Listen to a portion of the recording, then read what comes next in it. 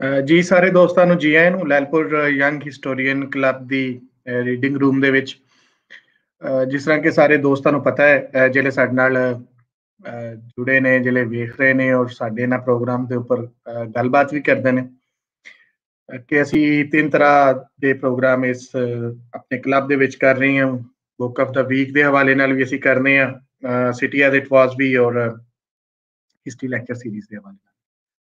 ਸੋ ਅੱਜ ਦੇ, ਅੱਜ ਦਾ ਜਿਹੜਾ ਸਾਡਾ ਪ੍ਰੋਗਰਾਮ ਹੈ ਉਸ ਹਵਾਲੇ ਨਾਲ ਅਸੀਂ ਪੋਸਟਰ ਸ਼ੇਅਰ ਕਰ ਦਿੱਤਾ ਸੀ। ਅੱਜ ਦਾ ਬੜਾ ਖਾਸ ਪ੍ਰੋਗਰਾਮ ਸਾਡੇ ਸ਼ਹਿਰ ਦੇ ਬਹੁਤ ਵੱਡਾ ਨਾਂ, ਅਫਜ਼ਲ ਹਸਨ ਰੰਦਾਵਾ ਸਾਹਿਬ। ਪੂਰੇ ਪੰਜਾਬ ਦੇ ਵਿੱਚ ਜਾਣੇ ਜਾਣ ਵਾਲੇ ਆਪਣੇ ਨਾਵਲ, ਕਹਾਣੀਆਂ ਔਰ ਸ਼ਾਇਰੀ ਰਾਹੀਂ ਉਹਨਾਂ ਦੇ ਉੱਪਰ ਸਾਡੇ ਸ਼ਹਿਰ ਦੇ, ਸਾਡੇ ਦੋਸਤ, ਬੜੇ ਯੰਗਸਟਰ ਸਾਡੇ ਕਮਰੇਡ ਵੀ ਦੋਸਤ ਹੀ ਸਾਡੇ ਨਾਲ ਪੰਜਾਬੀ ਦੇ ਦੇ ਵਿੱਚ ਵੀ ਬੜਾ ਉਹਨਾਂ ਨੇ ਸਾਥ ਦਿੱਤਾ ਇਜਾਜ਼ ਪ੍ਰੋਫੈਸਰ ਨੇ ਲੈਕਚਰਰ ਨੇ ਅੱਜਕੱਲ ਗੁਜਰਾਵਾਲਾ ਕਾਲਜ ਦੇ ਵਿੱਚ ਔਰ ਪੰਜਾਬੀ ਦੇ ਪੰਜਾਬੀ ਪੜ੍ਹਾਉਂਦੇ ਨੇ ਉਹਨਾਂ ਨੇ ਅਫਜ਼ਲ ਹਸਨ ਰੰਦਾਵਾ ਸਾਹਿਬ ਦੇ ਉੱਪਰ ਉਹਨਾਂ ਦੀ ਨਾਵਲਕਾਰੀ ਦੇ ਉੱਪਰ ਇੱਕ ਕਿਤਾਬ ਲਿਖੀ ਔਰ ਅੱਜ ਅਸੀਂ ਉਹਦੇ ਤੇ ਗੱਲਬਾਤ ਜਿਹੜੀ ਰੱਖੀ ਹੈ ਉਸ ਕਿਤਾਬ ਦੇ ਹਵਾਲੇ ਨਾਲ ਅੱਜ ਸਾਡੇ ਨਾਲ ਇਸ ਕਿਤਾਬ ਦੇ ਜਿਹੜੇ ਆਥਰ ਨੇ ਜਿਹੜੇ ਰਾਈਟਰ ਨੇ ਉਹ ਤੇ ਮੌਜੂਦ ਹੀ ਨੇ ਲੇਕਿਨ ਅੱਜ ਸਾਡੇ ਨਾਲ ਇਸ ਕਿਤਾਬ ਤੇ ਤਬਸਰਾ ਕਰਨ ਵਾਸਤੇ ਬਹੁਤ ਹੀ ਸਾਡੇ ਸੀਨੀਅਰ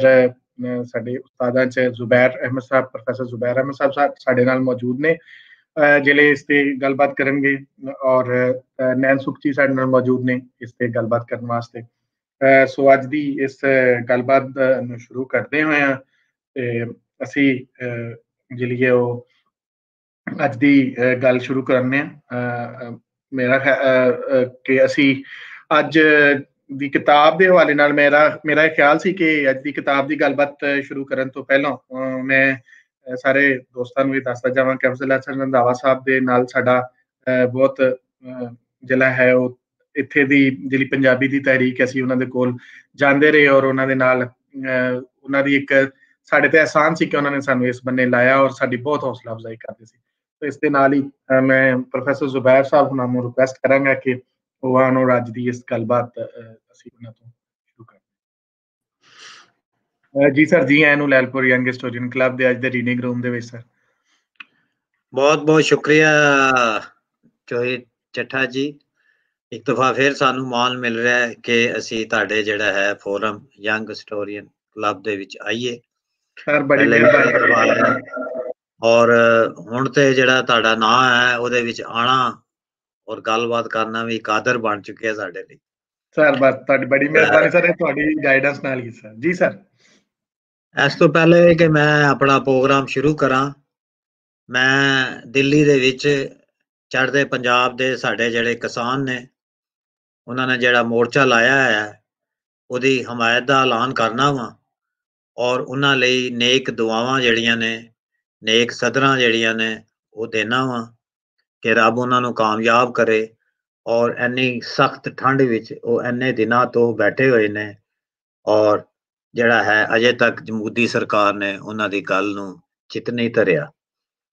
ਬਹੁਤ ਅਫਸੋਸ ਦੀ ਗੱਲ ਇਹ ਹੈਗੀ ਹੈ ਕਿ ਸਾਡੀ ਜਿਹੜੀ ਰਿਆਸਤ ਹੈ, ਪਾਕਿਸਤਾਨ ਔਰ ਪੰਜਾਬ ਹਕੂਮਤ, ਉਹਨਾਂ ਵੱਲੋਂ ਇੱਕ ਬਿਆਨ ਵੀ ਉਹਨਾਂ ਕਿਸਾਨਾਂ ਦੀ ਹਮਾਇਤ ਵਿੱਚ ਨਹੀਂ ਆਇਆ।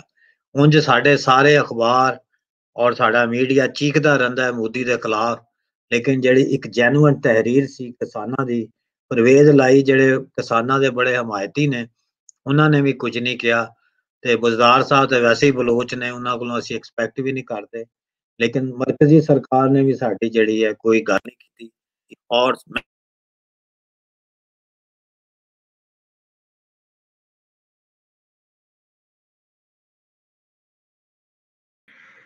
ਸਰ ਮਾਈਕ ਆਫ ਹੋ ਗਿਆ ਸਰ ਜ਼ਬੈਰ ਸਾਹਿਬ ਤੁਹਾਡਾ ਮਾਈਕ ਆਫ ਹੈ ਸਰ ਪਲੀਜ਼ ਨੂੰ ਜ਼ਰਾ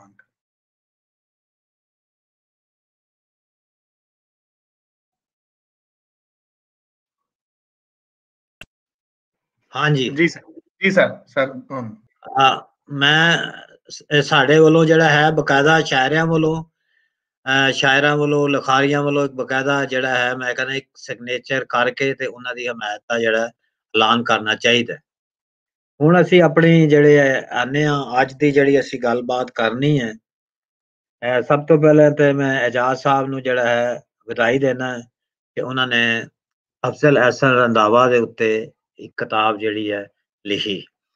ਤਕਰੀਬਨ 125 ਸਫ਼ਿਆਂ ਦੀ ਕਿਤਾਬ ਹੈ ਔਰ ਉਹਦੇ ਵਿੱਚ ਚਾਰ ਨਾਵਲ ਜਿਹੜੇ ਨੇ ਉਹਨਾਂ ਦੇ ਰੰਦਾਵਾ ਸਾਹਿਬ ਦੇ ਉਹ ਡਿਸਕਸ ਕੀਤੇ ਗਏ ਨੇ।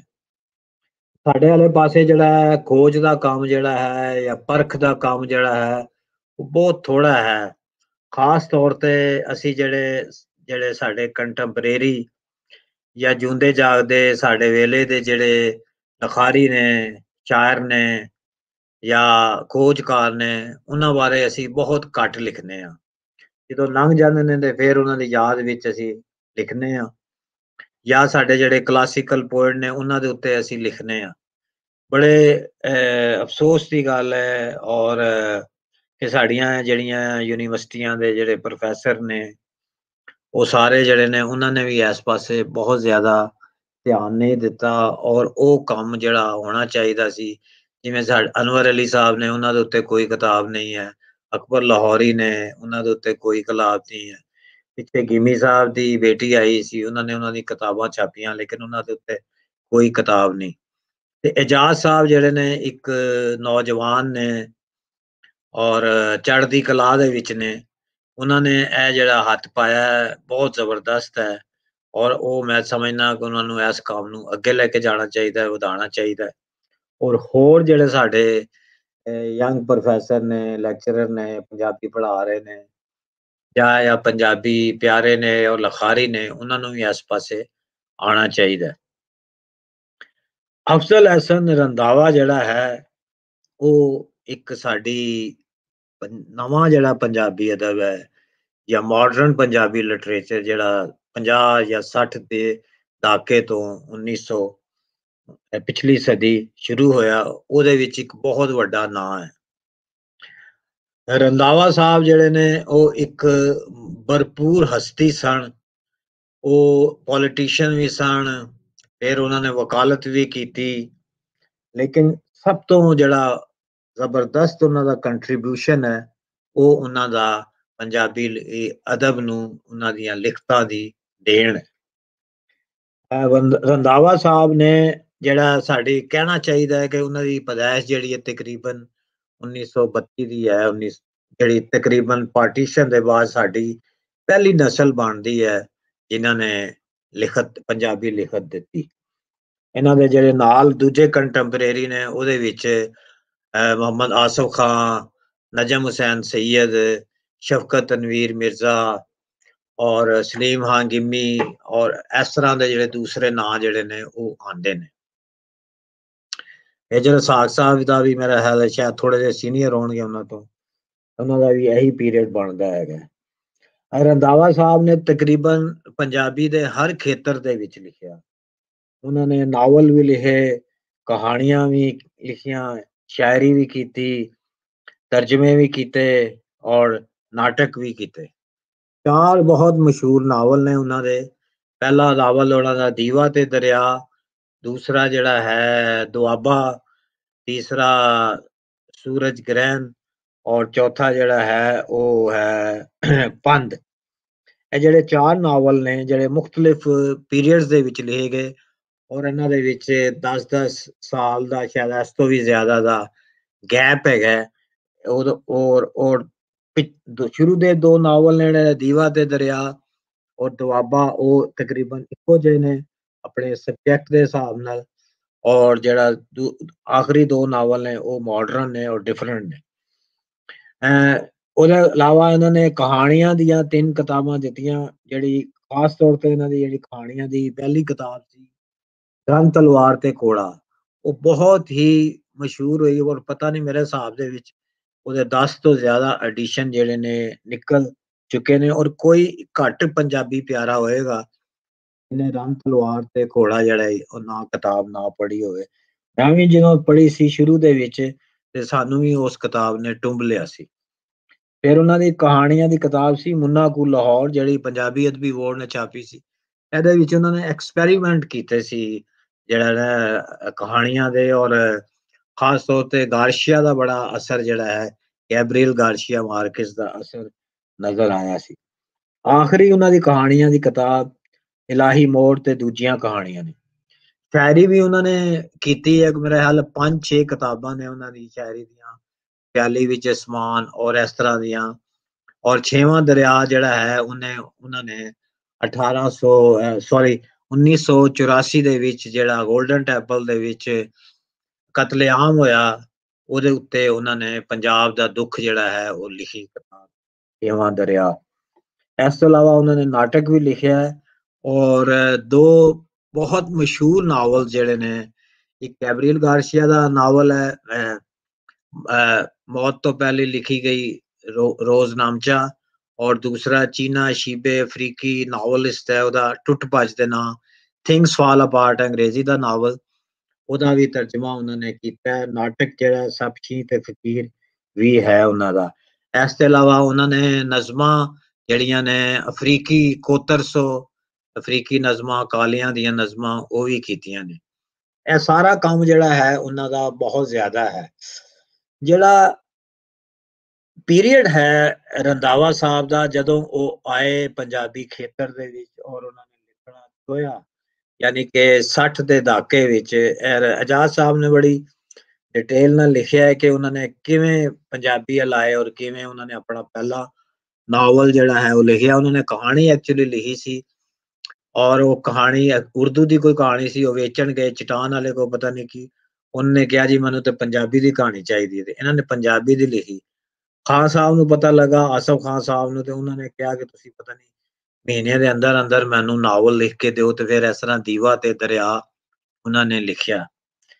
ਕਿਤੇ ਰਵੇ ਕਿ ਜਿਹੜਾ 60 ਦਾ ਦਹਾਕਾ ਹੈ, ਉਹ ਪੰਜਾਬੀ ਦਾ ਜਿਹੜਾ ਹੈ, ਇੱਕ ਤਰ੍ਹਾਂ ਦੀ ਰੀ ਇਨਕਾਰਨੇਸ਼ਨ ਹੈ ਜਾਂ ਰੈਨੇਸਾਂਸ ਦਾ ਪੀਰੀਅਡ ਹੈ। ਰੀਬਰਥ ਹੈ ਪੰਜਾਬੀ ਦੀ। ਕਲਾਸਿਕਲ ਕਿਤਾਬਾਂ ਜਿਹੜੀਆਂ ਨੇ ਡਾਕਟਰ ਫਕੀਰ ਮੁਹੰਮਦ ਫਕੀਰ ਔਰ ਬਾਕਰ ਸਾਹਿਬ ਨੇ ਇਸ਼ਤਿਹਾਰਾਤ ਪੰਜਾਬੀ ਅਕੈਡਮੀ ਬਣਾਈ।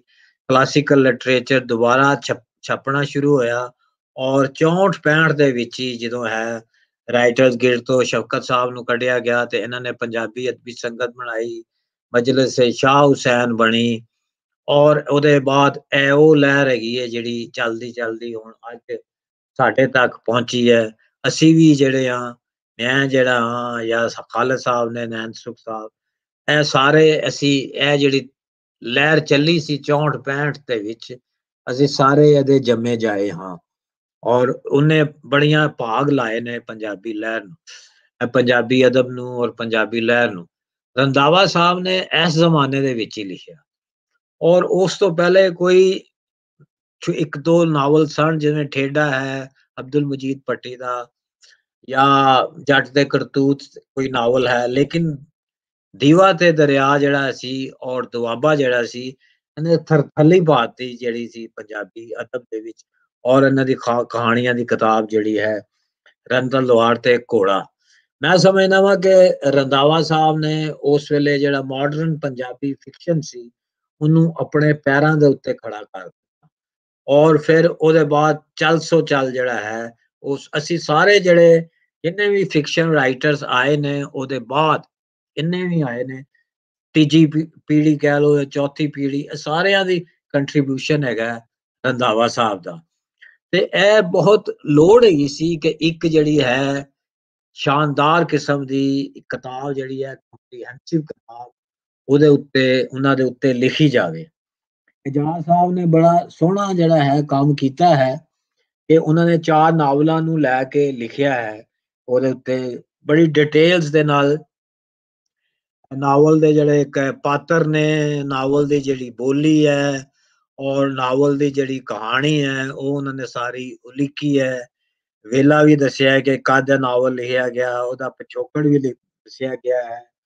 ਔਰ ਲੇਕਿਨ ਮੈਂ ਸਮਝਣਾ ਵਾਂ ਔਰ ਮੇਰੀ ਇਹ ਥੋੜੀ ਜਿਹੀ ਇੱਕ ਸਲਾਹ ਹੈ ਇਜਾਜ਼ ਸਾਹਿਬ ਨੂੰ ਕਿ ਉਹ ਜਿਹੜਾ ਪੂਰਾ ਕੰਮ ਹੈ ਰੰਦਾਵਾ ਸਾਹਿਬ ਦਾ, ਜਿਹਦੇ ਵਿੱਚ ਕਹਾਣੀਆਂ ਵੀ ਸ਼ਾਮਲ ਨੇ ਔਰ ਸ਼ਾਇਰੀ ਵੀ ਸ਼ਾਮਲ ਹੈ ਔਰ ਉਹਨਾਂ ਦੇ ਤਰਜਮੇ ਵੀ ਸ਼ਾਮਲ ਨੇ ਸ਼ਾਇਰੀ ਦੇ ਤਰਜਮੇ ਵੀ ਸ਼ਾਮਲ ਨੇ, ਨਾਟਕ ਵੀ ਨੇ, ਉਹਦੇ ਉੱਤੇ ਪੂਰਾ ਜਿਹੜਾ ਹੈ ਕਿਤਾਬ ਤਿਆਰ ਕਰਨ। ਇਹ ਜਿੰਨੀ ਵੀ ਲਿਖੀ ਹੈ, ਇਹ ਕਿਤਾਬ ਅੱਛੀ ਹੈ, ਲੇਕਿਨ ਇਹ ਮੁਖਤਸਰ ਕਿਤਾਬ ਹੈ ਔਰ ਨਾ ਮੁਕੰਮਲ ਕਿਤਾਬ ਹੈ। ਜਿਵੇਂ ਕਿ ਜਿਵੇਂ ਉਹਨਾਂ ਦੇ ਐਸੇ ਐਸੇ ਸ਼ੇਰ ਹੈਗੇ ਨੇ, ਜਿਵੇਂ ਬੱਚਿਆਂ ਦੀ ਕੋਈ ਖੇਲ ਨਹੀਂ ਬਚੜਾ ਜੇਲ ਤਾਂ ਆਖਰ ਜੇਲ ਹੈ ਬਚੜਾ ਤੇ ਜਿਹੜਾ ਹੱਥ ਖੜਾ ਕਰ ਜਾਵੇ ਇਸ਼ਕ ਦੇ ਵਿੱਚੋਂ ਫੇਲ ਹੈ ਬਚੜਾ ਤੇ ਮੈਂ ਦਰਿਆਵਾਂ ਦਾ ਹਾਣੀ ਸਾਂ ਤਾਨੇ ਪੈ ਗਏ ਹਾਲ ਨਹੀਂ ਮਾਏ। ਤੇ ਸ਼ਹਿਰ ਦਾ ਹਾਲ ਕੀ ਤੈਨੂੰ ਲਿਖਾਂ? ਮੁੱਲ ਨਹੀਂ ਲੱਭਦੀ, ਦਾਲ ਨਹੀਂ ਮਾਏ। ਤੇ ਅਫਜ਼ਲ ਐਸਨ ਲੋਹਾ ਸੀ, ਖਾ ਗਿਆ, ਦਰਦ ਜੰਗਾਲ ਨਹੀਂ ਮਾਏ। ਐਨੇ ਐਨੇ ਸੋਹਣੇ ਸ਼ੇਰ ਨੇ ਤੇ ਸ਼ਾਇਰੀ ਦੇ ਉੱਤੇ ਵੀ ਉਹਨਾਂ ਦੇ ਜਿਹੜਾ ਹੈ, ਉਹ ਪਰਖ ਜਿਹੜੀ ਹੈ ਪਰਚੋਲ ਜਿਹੜੀ ਹੈ ਵੇਰਵਾ ਜਿਹੜਾ ਹੈ, ਉਹ ਬਣਦਾ ਹੈ।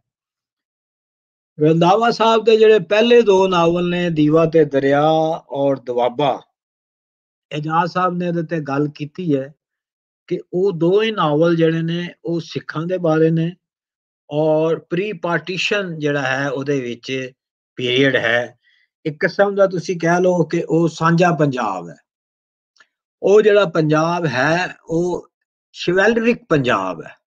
ਉਹ ਜੱਟ ਓਰੀਐਂਟਡ ਹੈ ਔਰ ਉਹਦੇ ਵਿੱਚ ਦਲੇਰੀ, ਬਹਾਦਰੀ ਔਰ ਯਾਰੀ ਨਾਲ, ਯਾਰੀ ਨਿਭਾਣੀ ਜਾਂ ਇਸ਼ਕ ਨਿਭਾਣਾ ਗੱਲ ਨੂੰ ਵਿਆਹਣਾ, ਇਸ ਤਰ੍ਹਾਂ ਦੀਆਂ ਜਿਹੜੀਆਂ ਸਾਰੀਆਂ ਗੱਲਾਂ ਜਿਹੜੀਆਂ ਨੇ ਉਹ ਹੈ ਨੇ ਰੰਦਾਵਾ ਸਾਹਿਬ ਨੇ ਸਿੱਖਾਂ ਦੇ ਬਾਰੇ ਜਾਂ ਸਾਂਝੇ ਪੰਜਾਬ ਬਾਰੇ ਇਹ ਨਾਵਲ ਕਿਉਂ ਲਿਖੇ? ਇਹਨੂੰ ਜਿਹੜਾ ਹੈ, ਡੀਕੋਡ ਕਰਨ ਦੀ ਲੋੜ ਹੈ। ਇਹ ਮੈਨੂੰ ਨਹੀਂ ਚੇਤੇ ਜਾਂ ਮੇਰੇ ਨੌਲੇਜ ਦੇ ਵਿੱਚ ਨਹੀਂ ਹੈ। ਸਾਡੇ ਜਿਹੜੇ ਨੇ ਚੜ੍ਹਦੇ ਪੰਜਾਬ ਦੇ ਦੋਸਤ ਗੱਲ ਕਰ ਸਕਦੇ ਨੇ ਕਿ ਉਸ ਪਾਸੇ ਕਿਸੇ ਸਰਦਾਰ ਨੇ ਕੋਈ ਐਸਾ ਨਾਵਲ ਲਿਖਿਆ ਜਿਹਦੇ ਸਾਰੇ ਪਾਤਰ ਮੁਸਲਮਾਨ ਹੋਣ ਜਾਂ ਨੌਨ ਸਿੱਖ ਹੋਣ ਤੇ ਇਹ ਜਿਹੜੇ ਨੇ ਇਹਦੀਆਂ ਬੇਸ਼ੁਮਾਰ ਵਜੂਹਾਂ ਨੇ ਇੱਕ ਤੇ ਮੈਨੂੰ ਲੱਗਦਾ ਹੈ ਕਿ ਰੰਦਾਵਾ ਸਾਹਿਬ ਨੇ ਲਿਖ ਕੇ ਤੇ ਕਮਾਲ ਕਰ ਦਿੱਤਾ ਕਿ ਇੱਕ ਸਾਡੇ ਕੋਲ ਲਿਖਤਾਂ ਰਹਿ ਗਈਆਂ ਸਾਂਝੇ ਪੰਜਾਬ ਦੀਆਂ ਇਹਦੇ ਵਿੱਚ ਭਾਈਚਾਰਾ ਇੱਕ ਦੂਜੇ ਨਾਲ ਸਾਂਝ ਇੱਕ ਦੂਜੇ ਨਾਲ ਬਲਿਆਈ ਉਹ ਸਾਰੀਆਂ ਚੀਜ਼ਾਂ ਹੈ ਨੇ ਲੇਕਿਨ ਉਹਦੇ ਵਿੱਚ ਇੱਕ ਫਲਾ ਵੀ ਹੈਗੇ ਨੇ, ਉਹ ਨਾ ਹੈ ਜਿਹੜਾ ਸਾਰਾ ਇਹਨਾਂ ਦਾ ਸਬਜੈਕਟ ਹੈ, ਕਿ ਜਿਵੇਂ ਕਲਾਸ ਦਾ ਇਸ਼ੂ ਹੈ, ਉਹ ਉਹਨਾਂ ਦੇ ਨਾਵਲਾਂ ਦੇ ਵਿੱਚ ਨਹੀਂ ਹੈ। ਉਹ ਜੱਟ ਜਿਹੜੇ ਨੇ, ਉਹਨਾਂ ਦੀਆਂ ਕਿੰਨੀਆਂ ਜ਼ਮੀਨਾਂ ਨੇ, ਉਹ ਉਹ ਹੈ ਸਾਰੇ ਸਰਦਾਰ ਹੀ ਨੇ, ਖਾਂਦੇ ਪੀਂਦੇ ਨੇ ਉਹ ਰੋਟੀ ਜਿਹੜੀ ਹੈ ਕਿੱਥੋਂ ਆਂਦੀ ਹੈ, ਕਿੱਥੋਂ ਖਾਂਦੇ ਨੇ, ਉਹਦੀ ਦੱਸ ਨਹੀਂ ਪਾਏ ਉਹਨਾਂ ਨੇ ਰੰਦਾਵਾ ਸਾਹਿਬ। ਉਹ ਆਪਣੀ ਕਹਾਣੀ ਕਰਦੇ ਨੇ, ਜਿਹੜੀ ਮੁਹੱਬਤ ਦੀ ਵੀ ਹੈ ਇਸ਼ਕ ਦੀ ਵੀ ਹੈ ਜਾਂ ਰਿਲੇਸ਼ਨਸ਼ਿਪ ਦੀ ਹੈ ਜਾਂ ਦੋਸਤੀ ਦੀ ਹੈ, ਯਾਰੀ ਦੀ ਹੈ।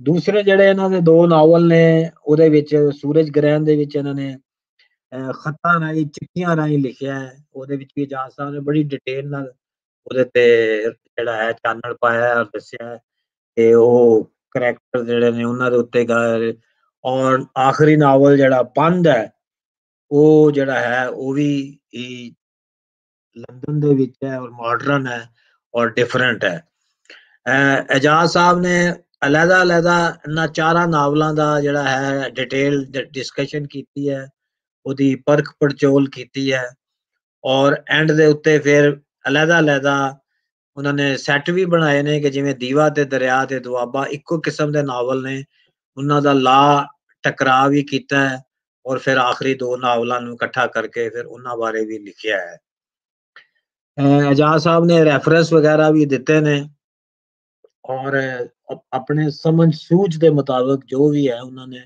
ਉਹਦਾ ਇੱਕ ਸਾਰਾ ਜਿਹੜਾ ਹੈ ਐਨਾਲਿਸਿਸ ਵੀ ਦਿੱਤਾ ਹੈ। ਜਿਹੜਾ ਕ੍ਰਿਟਿਸਿਜ਼ਮ ਹੈ ਉਹ ਤੇ ਹੁਣ ਪੂਰੀ ਇੱਕ ਇੰਡਸਟਰੀ ਬਣ ਚੁੱਕੀ ਹੈ ਖਾਸ ਤੌਰ ਤੇ ਵੈਸਟ ਦੇ ਵਿੱਚ।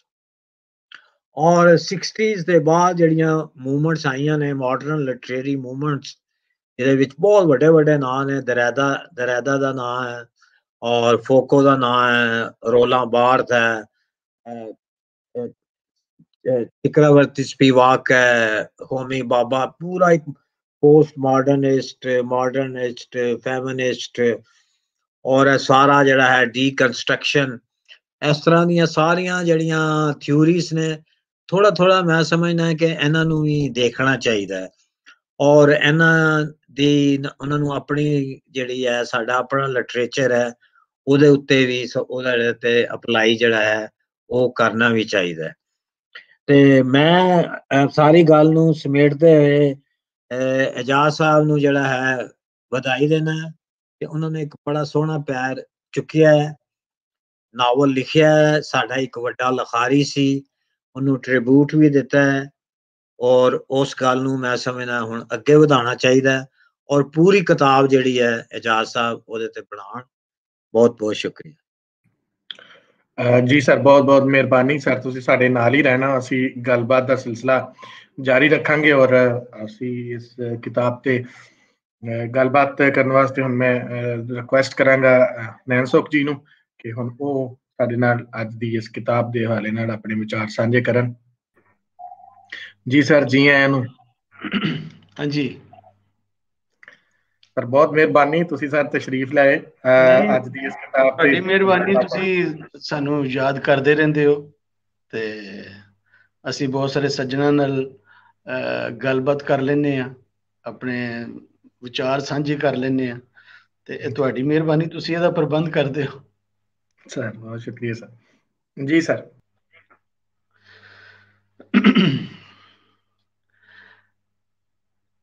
ਕੁਝ ਜੀ ਆਪਣੀ ਕਰਤ ਜਾਂ ਆਪਣੀ ਕਜਾਕੀ ਵਜੋਂ ਇੰਨੇ ਸਿਰ ਕੱਢ ਤੇ ਮਹਾਨ ਹੋ ਕਿ ਉਹ ਆਪਣੇ ਜੂ ਦੀ ਸ਼ਾਨ ਬਣ ਜਾਂਦੇ ਨੇ ਔਰ ਆਪਣੀ ਬੋਲੀ ਵਾਸਤੇ ਉਹ ਇੱਕ ਮਾਣ ਹੁੰਦੇ ਨੇ। ਅਫਸਰ ਹਸਨ ਰੰਧਾਵਾ ਉਹਨਾਂ ਲੋਕਾਂ ਵਿੱਚੋਂ ਨੇ, ਉਹਨਾਂ ਜੀਆਂ ਵਿੱਚੋਂ ਨੇ ਕਿ ਜਿਨ੍ਹਾਂ ਦੇ ਉੱਤੇ ਉਹਨਾਂ ਦੀ ਬੋਲੀ ਮਾਣ ਕਰ ਸਕਦੀ ਹੈ ਔਰ ਜਿਨ੍ਹਾਂ ਦੇ ਉੱਤੇ ਉਹਨਾਂ ਦੀ ਧਰਤੀ ਮਾਣ ਕਰ ਸਕਦੀ ਹੈ ਖਾਸ ਕਰਕੇ ਅਸੀਂ ਜਿਹੜੇ ਲਹਿੰਦੇ ਪੰਜਾਬ ਵਿੱਚ ਰਹਿੰਦੇ ਆ ਪੰਜਾਬੀ ਅਸੀਂ ਤੇ ਅੱਜ ਫਿਕਸ਼ਨ ਲਿਖ ਹੀ ਨਾ ਰਹੇ ਹੁੰਦੇ। ਜੇ ਅਫਸਰ ਹਸਨ ਰੰਧਾਵਾ ਦਾ ਕੰਮ ਅਸਾਂ ਸਾਡੇ ਸਾਹਮਣੇ ਨਾ ਹੁੰਦਾ। ਮੈਂ ਔਰ ਮੇਰੇ ਤੋਂ ਸੀਨੀਅਰ ਵੀ ਬਹੁਤ ਸਾਰੇ ਲਿਖਾਰੀ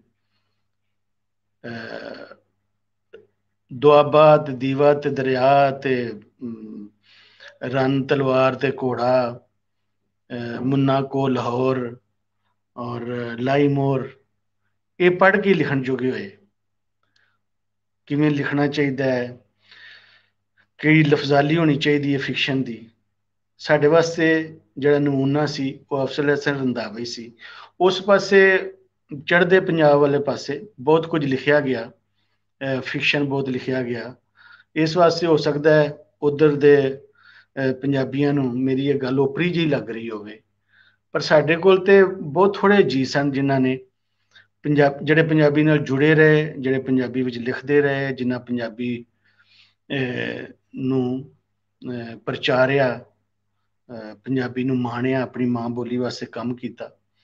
ਤੇ ਇਸ ਵਾਸਤੇ ਅਸੀਂ ਇਹ ਬਗੈਰ ਰਹਿ ਹੀ ਨਹੀਂ ਸਕਦੇ, ਨਹੀਂ ਰਹਿ ਸਕਦੇ ਕਿ ਜੇ ਅਫਸਲ ਹਸਨ ਰੰਦਾਵਾ ਨੇ ਆਪਣਾ ਜੋ ਦਾ ਕੰਮ ਹੈ, ਜੋ ਇਹ ਨਾ ਹੁੰਦਾ, ਤੇ ਅੱਜ ਮੈਂ ਵੀ, ਮੇਰਾ ਵੀ ਕੋਈ ਨਾਂ ਨਾ ਹੁੰਦਾ, ਮੈਂ ਵੀ ਇਹ ਨਾਂ ਲਿਖ ਰਿਹਾ ਹੁੰਦਾ ਪੰਜਾਬੀ, ਤੇ ਮੈਨੂੰ ਇਹ ਮੰਨਣ ਕੋਈ ਮੈਨੂੰ ਨਹੀਂ ਔਖਾ ਨਹੀਂ ਲੱਗਦਾ।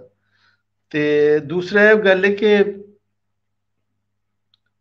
ਜਦੋਂ ਅਫਸਲ ਹਸਨ ਰੰਧਾਵਾ ਤੇ ਦੇ ਸਾਥੀ ਲਿਖ ਰਹੇ ਸਨ, ਉਸ ਵੇਲੇ ਬਹੁਤ ਇੱਥੇ ਉਰਦੂ ਦਾ ਬਹੁਤ ਚੜਤਲ ਸੀ ਸਾਡੇ, ਇਸ ਪੰਜਾਬ ਦੇ ਵਿੱਚ। ਤੇ ਉਸ ਵੇਲੇ ਗੱਜ ਵੱਜ ਕੇ ਜਿਸ ਬੰਦੇ ਨੇ ਖਾਸ ਕਰਕੇ ਗੱਜ ਵੱਜਿਆ ਔਰ ਉਹ ਅਫਸਲ ਹਸਨ ਰੰਧਾਵਾ ਹੀ ਇੱਕ ਐਸਾ ਨਾਂ ਸੀ। ਔਰ ਬਾਕੀ ਵੇਖੋ ਲਿਖਣ ਦੇ ਢੰਗ ਜਿਹੜੇ ਨੇ ਜਾਂ ਵੇਖਣ ਦੇ ਢੰਗ ਜਾਂ ਇੱਕ ਤੇ ਜੋ ਵਾਪਰ ਰਿਹਾ ਹੁੰਦਾ ਹੈ, ਉਹਨੂੰ ਵੇਖਣ ਦੇ ਢੰਗ, ਉਹਨੂੰ ਸੋਚਣ, ਸਮਝਣ ਦੇ ਢੰਗ ਹਰ ਕਿਸੇ ਦੇ ਆਪਣੇ ਆਪਣੇ ਹੁੰਦੇ ਨੇ। ਜਦੋਂ ਅਸੀਂ ਵੇਖਨੇ ਆ ਕਿ ਬਾਬਰ ਕਹਿੰਦਾ ਕਿ ਬਾਬਰ ਬਾਇਸ਼ ਕੋਸ਼ ਕੇ ਆਲਮ ਦੁਬਾਰਾ ਨੇਸਤ ਕਿ ਜਿੰਨੀ ਯਾਸ਼ੀ ਤੂੰ ਕਰਨੀ ਹੈ, ਅਬ ਬਾਬਰ ਆਪਣੇ ਆਪ ਨੂੰ ਕਹਿੰਦਾ ਤੂੰ ਕਰ ਲੈ, ਇਸ ਦੁਨੀਆ ਤੇ ਫਿਰ ਨਹੀਂ ਆਣਾ ਲੇਕਿਨ ਉਸੇ ਵੇਲੇ ਬਾਬਾ ਨਾਨਕ ਜਿਹੜਾ ਲੋਕਾਂ ਦੇ ਵਿੱਚ ਰਹਿ ਰਿਹਾ ਹੈ, ਉਹ ਕਿਤੇ ਹੋਰ ਹੋਰ ਗੱਲ ਕਰ ਰਿਹਾ ਹੈ ਕਿ ਪਾਪ ਕੀ ਜੰਜ ਲੈ ਕਾਬਲੂ ਤਾਇਆ ਜੋਰੀ ਮੰਗੇ, ਦਾਨ ਵੀ ਲਾ ਲੋ ਤੇ ਜਿਹੜਾ ਲੋਕਾਂ ਨਾਲ ਕੀ ਵਾਪਰ ਰਹੀ ਸੀ ਸੀ ਉਸ ਵੇਲੇ, ਉਹ ਲੋਕਾਂ ਵਿੱਚ ਰਹਿਣ ਵਾਲੇ ਨੇ ਲਿਖਿਆ। ਜਿਹੜਾ ਉੱਤੇ ਬੈਠਾ ਸੀ, ਉਹਨੇ ਆਪਣੇ ਢੰਗ ਨਾਲ ਉਹਨੂੰ ਵੇਖ ਰਿਹਾ, ਆਪਣੇ ਦਰਬਾਰ ਨੂੰ ਵੇਖ ਰਿਹਾ ਸੀ, ਆਪਣੀ ਟੌਰ ਨੂੰ ਵੇਖ ਰਿਹਾ ਸੀ, ਆਪਣੀ ਚੜਤਲ ਨੂੰ ਵੇਖ ਰਿਹਾ ਸੀ, ਆਪਣੀ ਬਾਦਸ਼ਾਹੀ ਨੂੰ ਵੇਖ ਰਿਹਾ ਸੀ। ਪਰ ਜਿਹੜਾ ਲੋਕਾਂ ਦੇ ਵਿੱਚ ਰਹਿ ਰਿਹਾ ਸੀ, ਉਹਨੇ ਉਹਨੂੰ ਉਸ ਢੰਗ ਨਾਲ ਵੇਖਿਆ।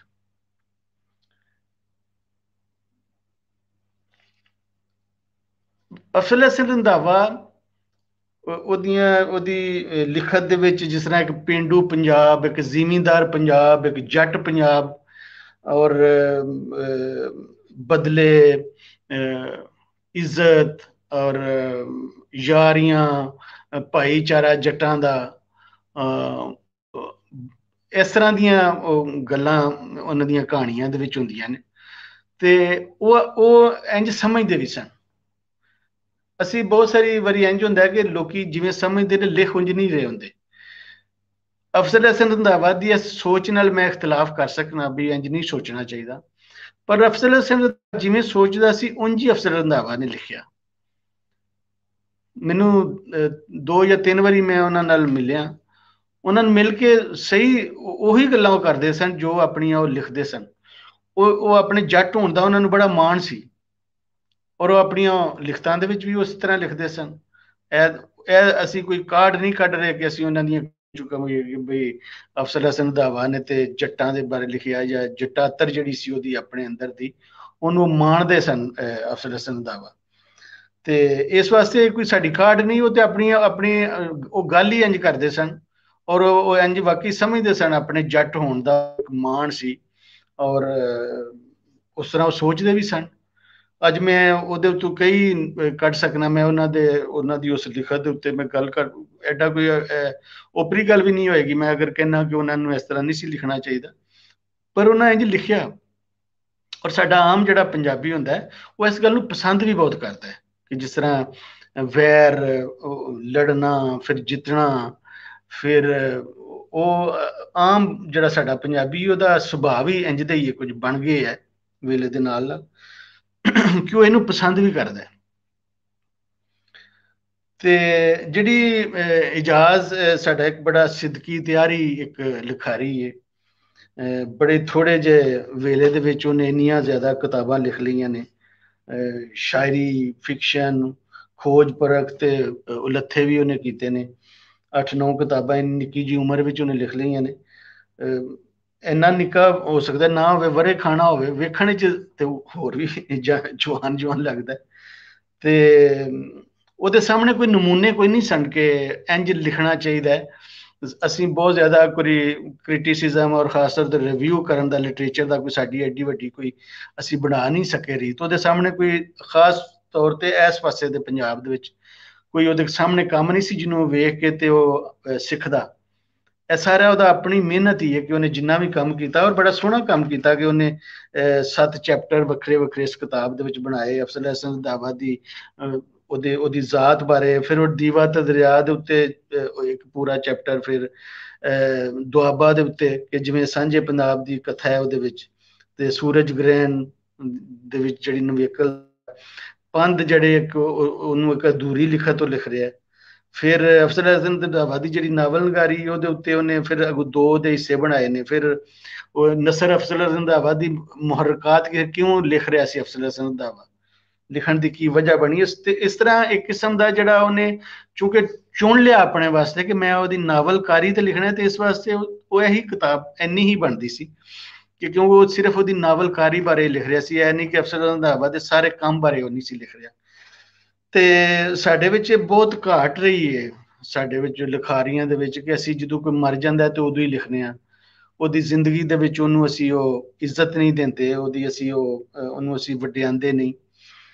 ਤੇ ਹਾਲਾਂਕਿ ਇਹ ਬੜਾ ਜ਼ਰੂਰੀ ਹੈ ਕਿ ਇੰਜ ਕਰਨਾ ਚਾਹੀਦਾ ਅਸੀਂ ਜਿਹਦੀ ਇੱਜ਼ਤ ਕਰਨੇ ਉਹਦੀ ਜ਼ਿੰਦਗੀ ਦੇ ਵਿੱਚ ਵੀ ਤੇ ਉਹਨੂੰ, ਉਹਦੇ ਸਾਹਮਣੇ ਵੀ ਤੇ ਉਹਦੀ ਕੁਝ ਇੱਜ਼ਤ ਕਰੀਏ। ਔਰ ਫਿਰ ਅਫਸਰਾਂ ਦਾ ਦਾਵਾ ਜਿਹੜਾ ਉਹ ਆਪਣੀ ਜ਼ਿੰਦਗੀ ਦੇ ਅਖੀਰ ਦੇ ਵੇਲੇ ਦੇ ਵਿੱਚ ਉਹ ਬੜੇ ਦੁਖੀ ਵੀ ਰਹੇ। ਬੁੱਢਾ ਪਿਓ ਆਪਣੇ ਜਵਾਨ ਬੁੱਢਾ, ਜਿਹੜਾ ਜਵਾਨ ਪੁੱਤਰ ਹੁੰਦਾ ਹੈ, ਉਹ ਆਪਣੇ ਬੁੱਢੇ ਪਿਓ ਦਾ ਜਨਾਜ਼ਾ ਚੁੱਕੇ ਤੇ ਕੋਈ ਓਪਰੀ ਗੱਲ ਨਹੀਂ ਇੰਜ ਤੇ ਹੁੰਦਾ ਹੀ ਹੈ। ਪਰ ਇੱਕ ਬੁੱਢਾ ਪਿਓ ਅਗਰ ਆਪਣੇ ਜਵਾਨ ਪੁੱਤਰ ਦਾ লাশ ਚੁੱਕੇ ਤੇ ਉਹ ਬੜੇ ਸਦਮੇ ਦੀ ਗੱਲ ਹੁੰਦੀ ਹੈ ਤੇ ਉਹ ਇਸ ਸਦਮੇ ਤੋਂ ਗੁਜ਼ਰੇ। ਫਿਰ ਉਹਨਾਂ ਦੀ ਘਰਵਾਲੀ ਜਿਹੜੀ ਸੀ ਉਹ ਫਿਰ ਉਸੇ ਸਦਮੇ ਦੇ ਵਿੱਚ ਹੀ ਬਿਮਾਰ ਰਹੀ ਔਰ ਰੋਂਦੀ ਰਹੀ ਸਾਰੀ ਜ਼ਿੰਦਗੀ। ਔਰ ਉਹ ਉਹਨਾਂ ਦੇ ਘਰ ਦਾ ਇਸ ਤਰ੍ਹਾਂ ਦਾ ਮਾਹੌਲ ਰਿਹਾ ਅਖੀਰ ਦੇ ਵਿੱਚ। ਉਹ ਅੰਦਰੋਂ ਤੇ ਖੁਰਦੇ ਭੁਰਦੇ ਰਹੇ ਹੋਣਗੇ, ਅਫਸਰ ਹਸਨ ਔਰੀ ਪਰ ਉਹਨਾਂ ਨੂੰ ਹਰ ਵੇਲੇ ਕਿਸੇ ਝੁਰਦਿਆਂ ਕਦੀ ਵੇਖਿਆ ਨਹੀਂ। ਸਬਰ ਦੇ ਪਹਾੜ ਵਾਂਗੂ ਬੈਠੇ ਹੁੰਦੇ ਸਨ। ਉੱਚੀ ਉੱਚੀ ਹੱਸਣ ਦੀ ਆਵਾਜ਼, ਕੱਦ ਕਾਠ ਉਹਨਾਂ ਦਾ ਬੜਾ ਸੀ। ਤੇ ਸਾਡੀ ਦੀ ਬਹੁਤ ਵੱਡਾ ਨਾਂ, ਬਹੁਤ ਵੱਡੀ ਆਵਾਜ਼, ਅਫਸਰ ਦਾ ਤੇ ਉਹਨਾਂ ਤੇ ਬਹੁਤ ਕੰਮ ਕਰਨ ਦੀ ਲੋੜ ਸੀ। ਔਰ ਇਜਾਜ਼ ਨੇ ਕੀਤਾ, ਬੜਾ ਚੰਗਾ ਕੀਤਾ। ਉਹਨਾਂ ਦੀ ਜ਼ਿੰਦਗੀ ਵਿੱਚ ਕੰਮ ਹੋਣਾ ਚਾਹੀਦਾ ਸੀ ਔਰ ਅੱਗੋਂ ਤੋਂ ਵੀ ਵੇਖੋ ਜਿਨ੍ਹਾਂ ਲੋਕਾਂ ਦੀ ਅਸੀਂ ਇੱਜ਼ਤ ਕਰਨੇ ਆ, ਜਿਹੜੇ ਲਿਖਾਰੀਆਂ ਦੀ, ਜਿਹੜੇ ਸ਼ਾਇਰਾਂ ਦੀ, ਜਿਹੜੇ ਜਿਹੜੇ ਲੋਕਾਂ ਦੀ, ਉਹਨਾਂ ਦੀ ਜਿਉਂਦਿਆਂ ਉਹਨਾਂ ਦੀ ਉਹਨਾਂ ਦੇ ਉੱਤੇ ਸਾਨੂੰ ਲਿਖਣਾ ਚਾਹੀਦਾ ਹੈ। ਇੱਕ ਸ਼ੇਰ ਹੈ ਨਾ ਕਿ ਜਬ ਸਦਾ ਦੇकर ਚਲਾ ਜਾਤਾ ਹੂੰ ਮੈਂ, ਖੈਰ ਮਕਦਮ ਕੋ ਨਿਕਲ ਆਤੇ ਹਨ ਲੋਕ। ਤੇ ਇਹ ਇਹ ਰੀਤ ਨਹੀਂ ਚੰਗੀ। ਸਾਨੂੰ ਉਹਨਾਂ ਦੀਆਂ ਜ਼ਿੰਦਗੀਆਂ ਦੇ ਵਿੱਚ ਹੀ ਉਹਨਾਂ ਦੇ ਸਾਹਮਣੇ ਉਹਨਾਂ ਦੀ ਇੱਜ਼ਤ ਕਰਨੀ ਚਾਹੀਦੀ ਹੈ। ਤੇ ਇਜਾਜ਼ ਨੇ ਕੰਮ ਕੀਤਾ ਤੇ ਮੈਨੂੰ ਤੇ ਬੜੀ ਖੁਸ਼ੀ ਹੋਈ ਹੈ ਕਿ ਔਰ ਇਹਦੇ ਕੋਲ ਬੜਾ ਲੰਮਾ ਇਹਨੂੰ ਇਹਦੀ ਲੰਮੀ ਹਯਾਤੀ ਹੋਵੇ, ਇਹਦੇ ਕੋਲ ਬੜਾ ਲੰਮਾ ਸਮਾਂ ਇਹ ਬਹੁਤ ਕੁਝ ਲਿਖ ਸਕਦਾ ਹੈ ਤੇ ਅਸੀਂ ਆਸ ਕਰ ਸਕਨੇ ਹਾਂ ਕਿ ਇੰਦਾ ਵੀ ਲਿਖੇਗਾ।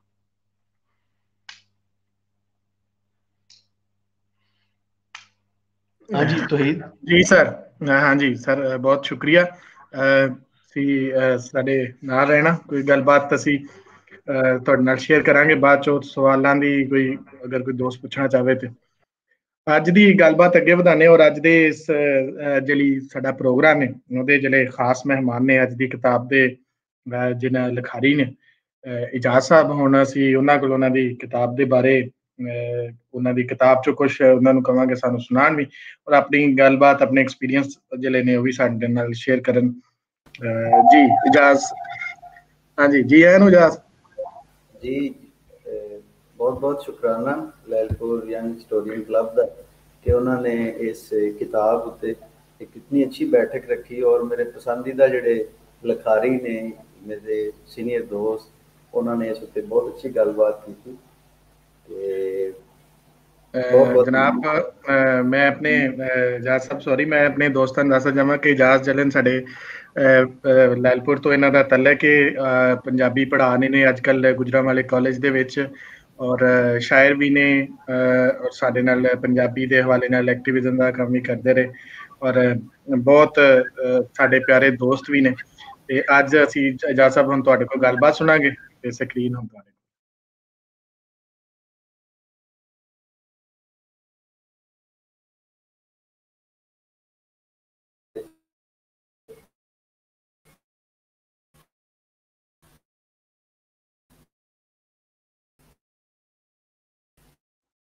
ਇਜਾਜ਼ ਮੇਰੀ ਆਵਾਜ਼ ਤੁਹਾਨੂੰ ਆ ਰਹੀ?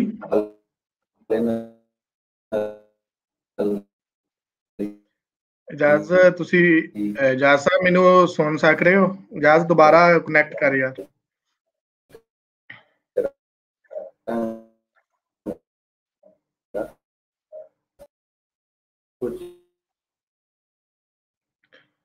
ਜੀ ਅਸੀਂ ਇਜਾਜ਼ ਸਾਹਿਬ ਨੂੰ ਦਾ ਥੋੜਾ ਨੈਟ ਦਾ ਪ੍ਰੋਬਲਮ ਹੈ, ਉਹ ਸਾਡੇ ਨਾਲ ਜਿਸ ਤਰ੍ਹਾਂ ਕਨੈਕਟ ਹੁੰਦੇ ਨੇ, ਅਸੀਂ ਉਹਨਾਂ ਨੂੰ ਦੁਬਾਰਾ ਸਕਰੀਨ ਤੇ ਲਿਆਵਾਂਗੇ। ਸੋ ਅਸੀਂ ਉਨੀ ਦੇਰ ਤੱਕ ਉਹਨਾਂ ਦਾ ਨੈਨਸੁਖ ਜੀ ਨੇ, ਜ਼ੁਬੈਰ ਸਾਹਿਬ ਨੇ ਸਾਡੇ ਨਾਲ, ਅਸੀਂ ਕੋਈ ਰੰਧਾਵਾ ਸਾਹਿਬ ਦੇ ਹਵਾਲੇ ਨਾਲ ਜ਼ਰੂਰ ਉਹਨਾਂ ਦੇ ਨਾਲ ਗੱਲਬਾਤ ਕਰਾਂਗੇ। ਜੀ ਸਰ ਆਜ਼ਾਦ ਸਰ ਕੋਈ ਕਨੈਕਸ਼ਨ ਦਾ ਜ਼ੁਬੈਰ ਸਾਹਿਬ ਨੈਨਸੁਖ ਸਾਹਿਬ ਉਹਨਾਂ ਕੋਈ ਮਸਲਾ ਆ ਰਿਹਾ ਹੈ? ਜਿਸ ਨਾਲ ਹੀ ਕਨੈਕਟ ਹੁੰਦਾ ਹੈ ਫਿਰ ਅਸੀਂ ਜਿਹੜੀ ਦੀ ਗੱਲਬਾਤ ਕਰਨੇ ਆ।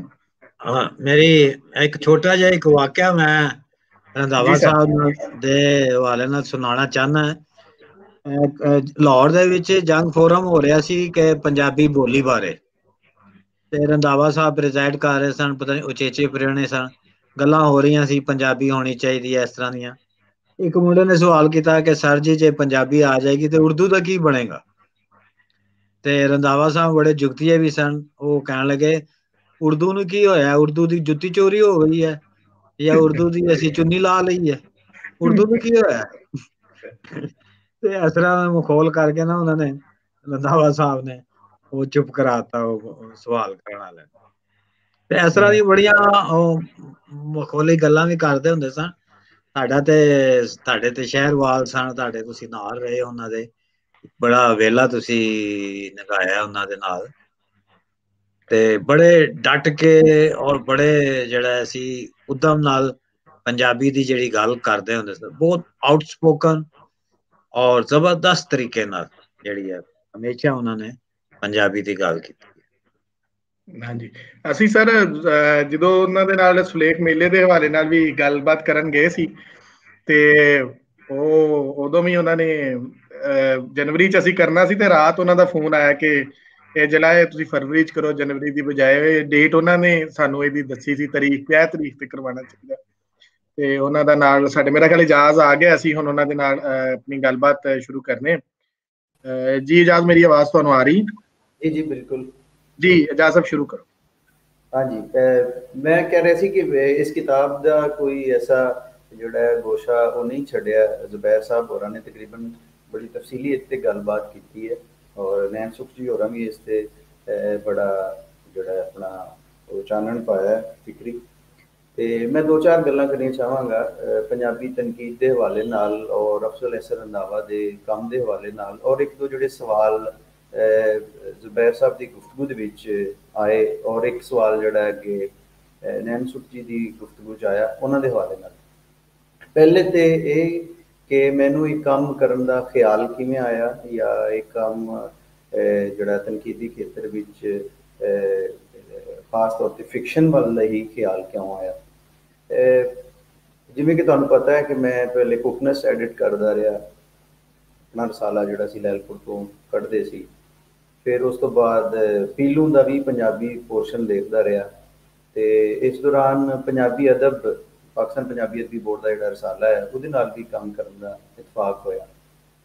ਹੋਇਆ ਇੰਜ ਕਿ ਪ੍ਰਵੀਨ ਮਲਕ ਸਾਹਿਬਾ, ਅਫਜ਼ਲ ਅਸਰ ਰੰਦਾਵਾ ਨੰਬਰ ਕੱਢਣਾ ਚਾਹੁੰਦੀਆਂ ਸਨ ਤੇ ਉਹਨਾਂ ਨੂੰ ਜੋ ਵੀ ਉਸ ਵੇਲੇ ਕੁਝ ਲਿਖਤਾਂ ਮਿਲੀਆਂ ਤੇ ਉਹਨਾਂ ਨੇ ਉਹ ਨੰਬਰ ਛਾਪ ਲਿਆ।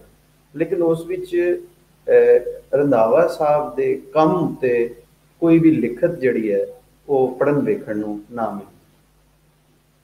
ਫਿਰ ਉਹਨਾਂ ਦੇ ਨਾਲ ਗੁਫ਼ਤਗੂ ਹੋਈ। ਮੈਨੂੰ ਪਤਾ ਲੱਗਾ ਕਿ ਰੰਦਾਵਾ ਸਾਹਿਬ ਦੀ ਜਿਹੜੀ ਬੇਟੀ ਹੈ, ਉਹ ਉਹਨਾਂ ਦੀਆਂ ਕਿਤਾਬਾਂ ਜਿਹੜੀ ਹੈ ਛਪਵਾ ਰਹੀਆਂ ਨੇ।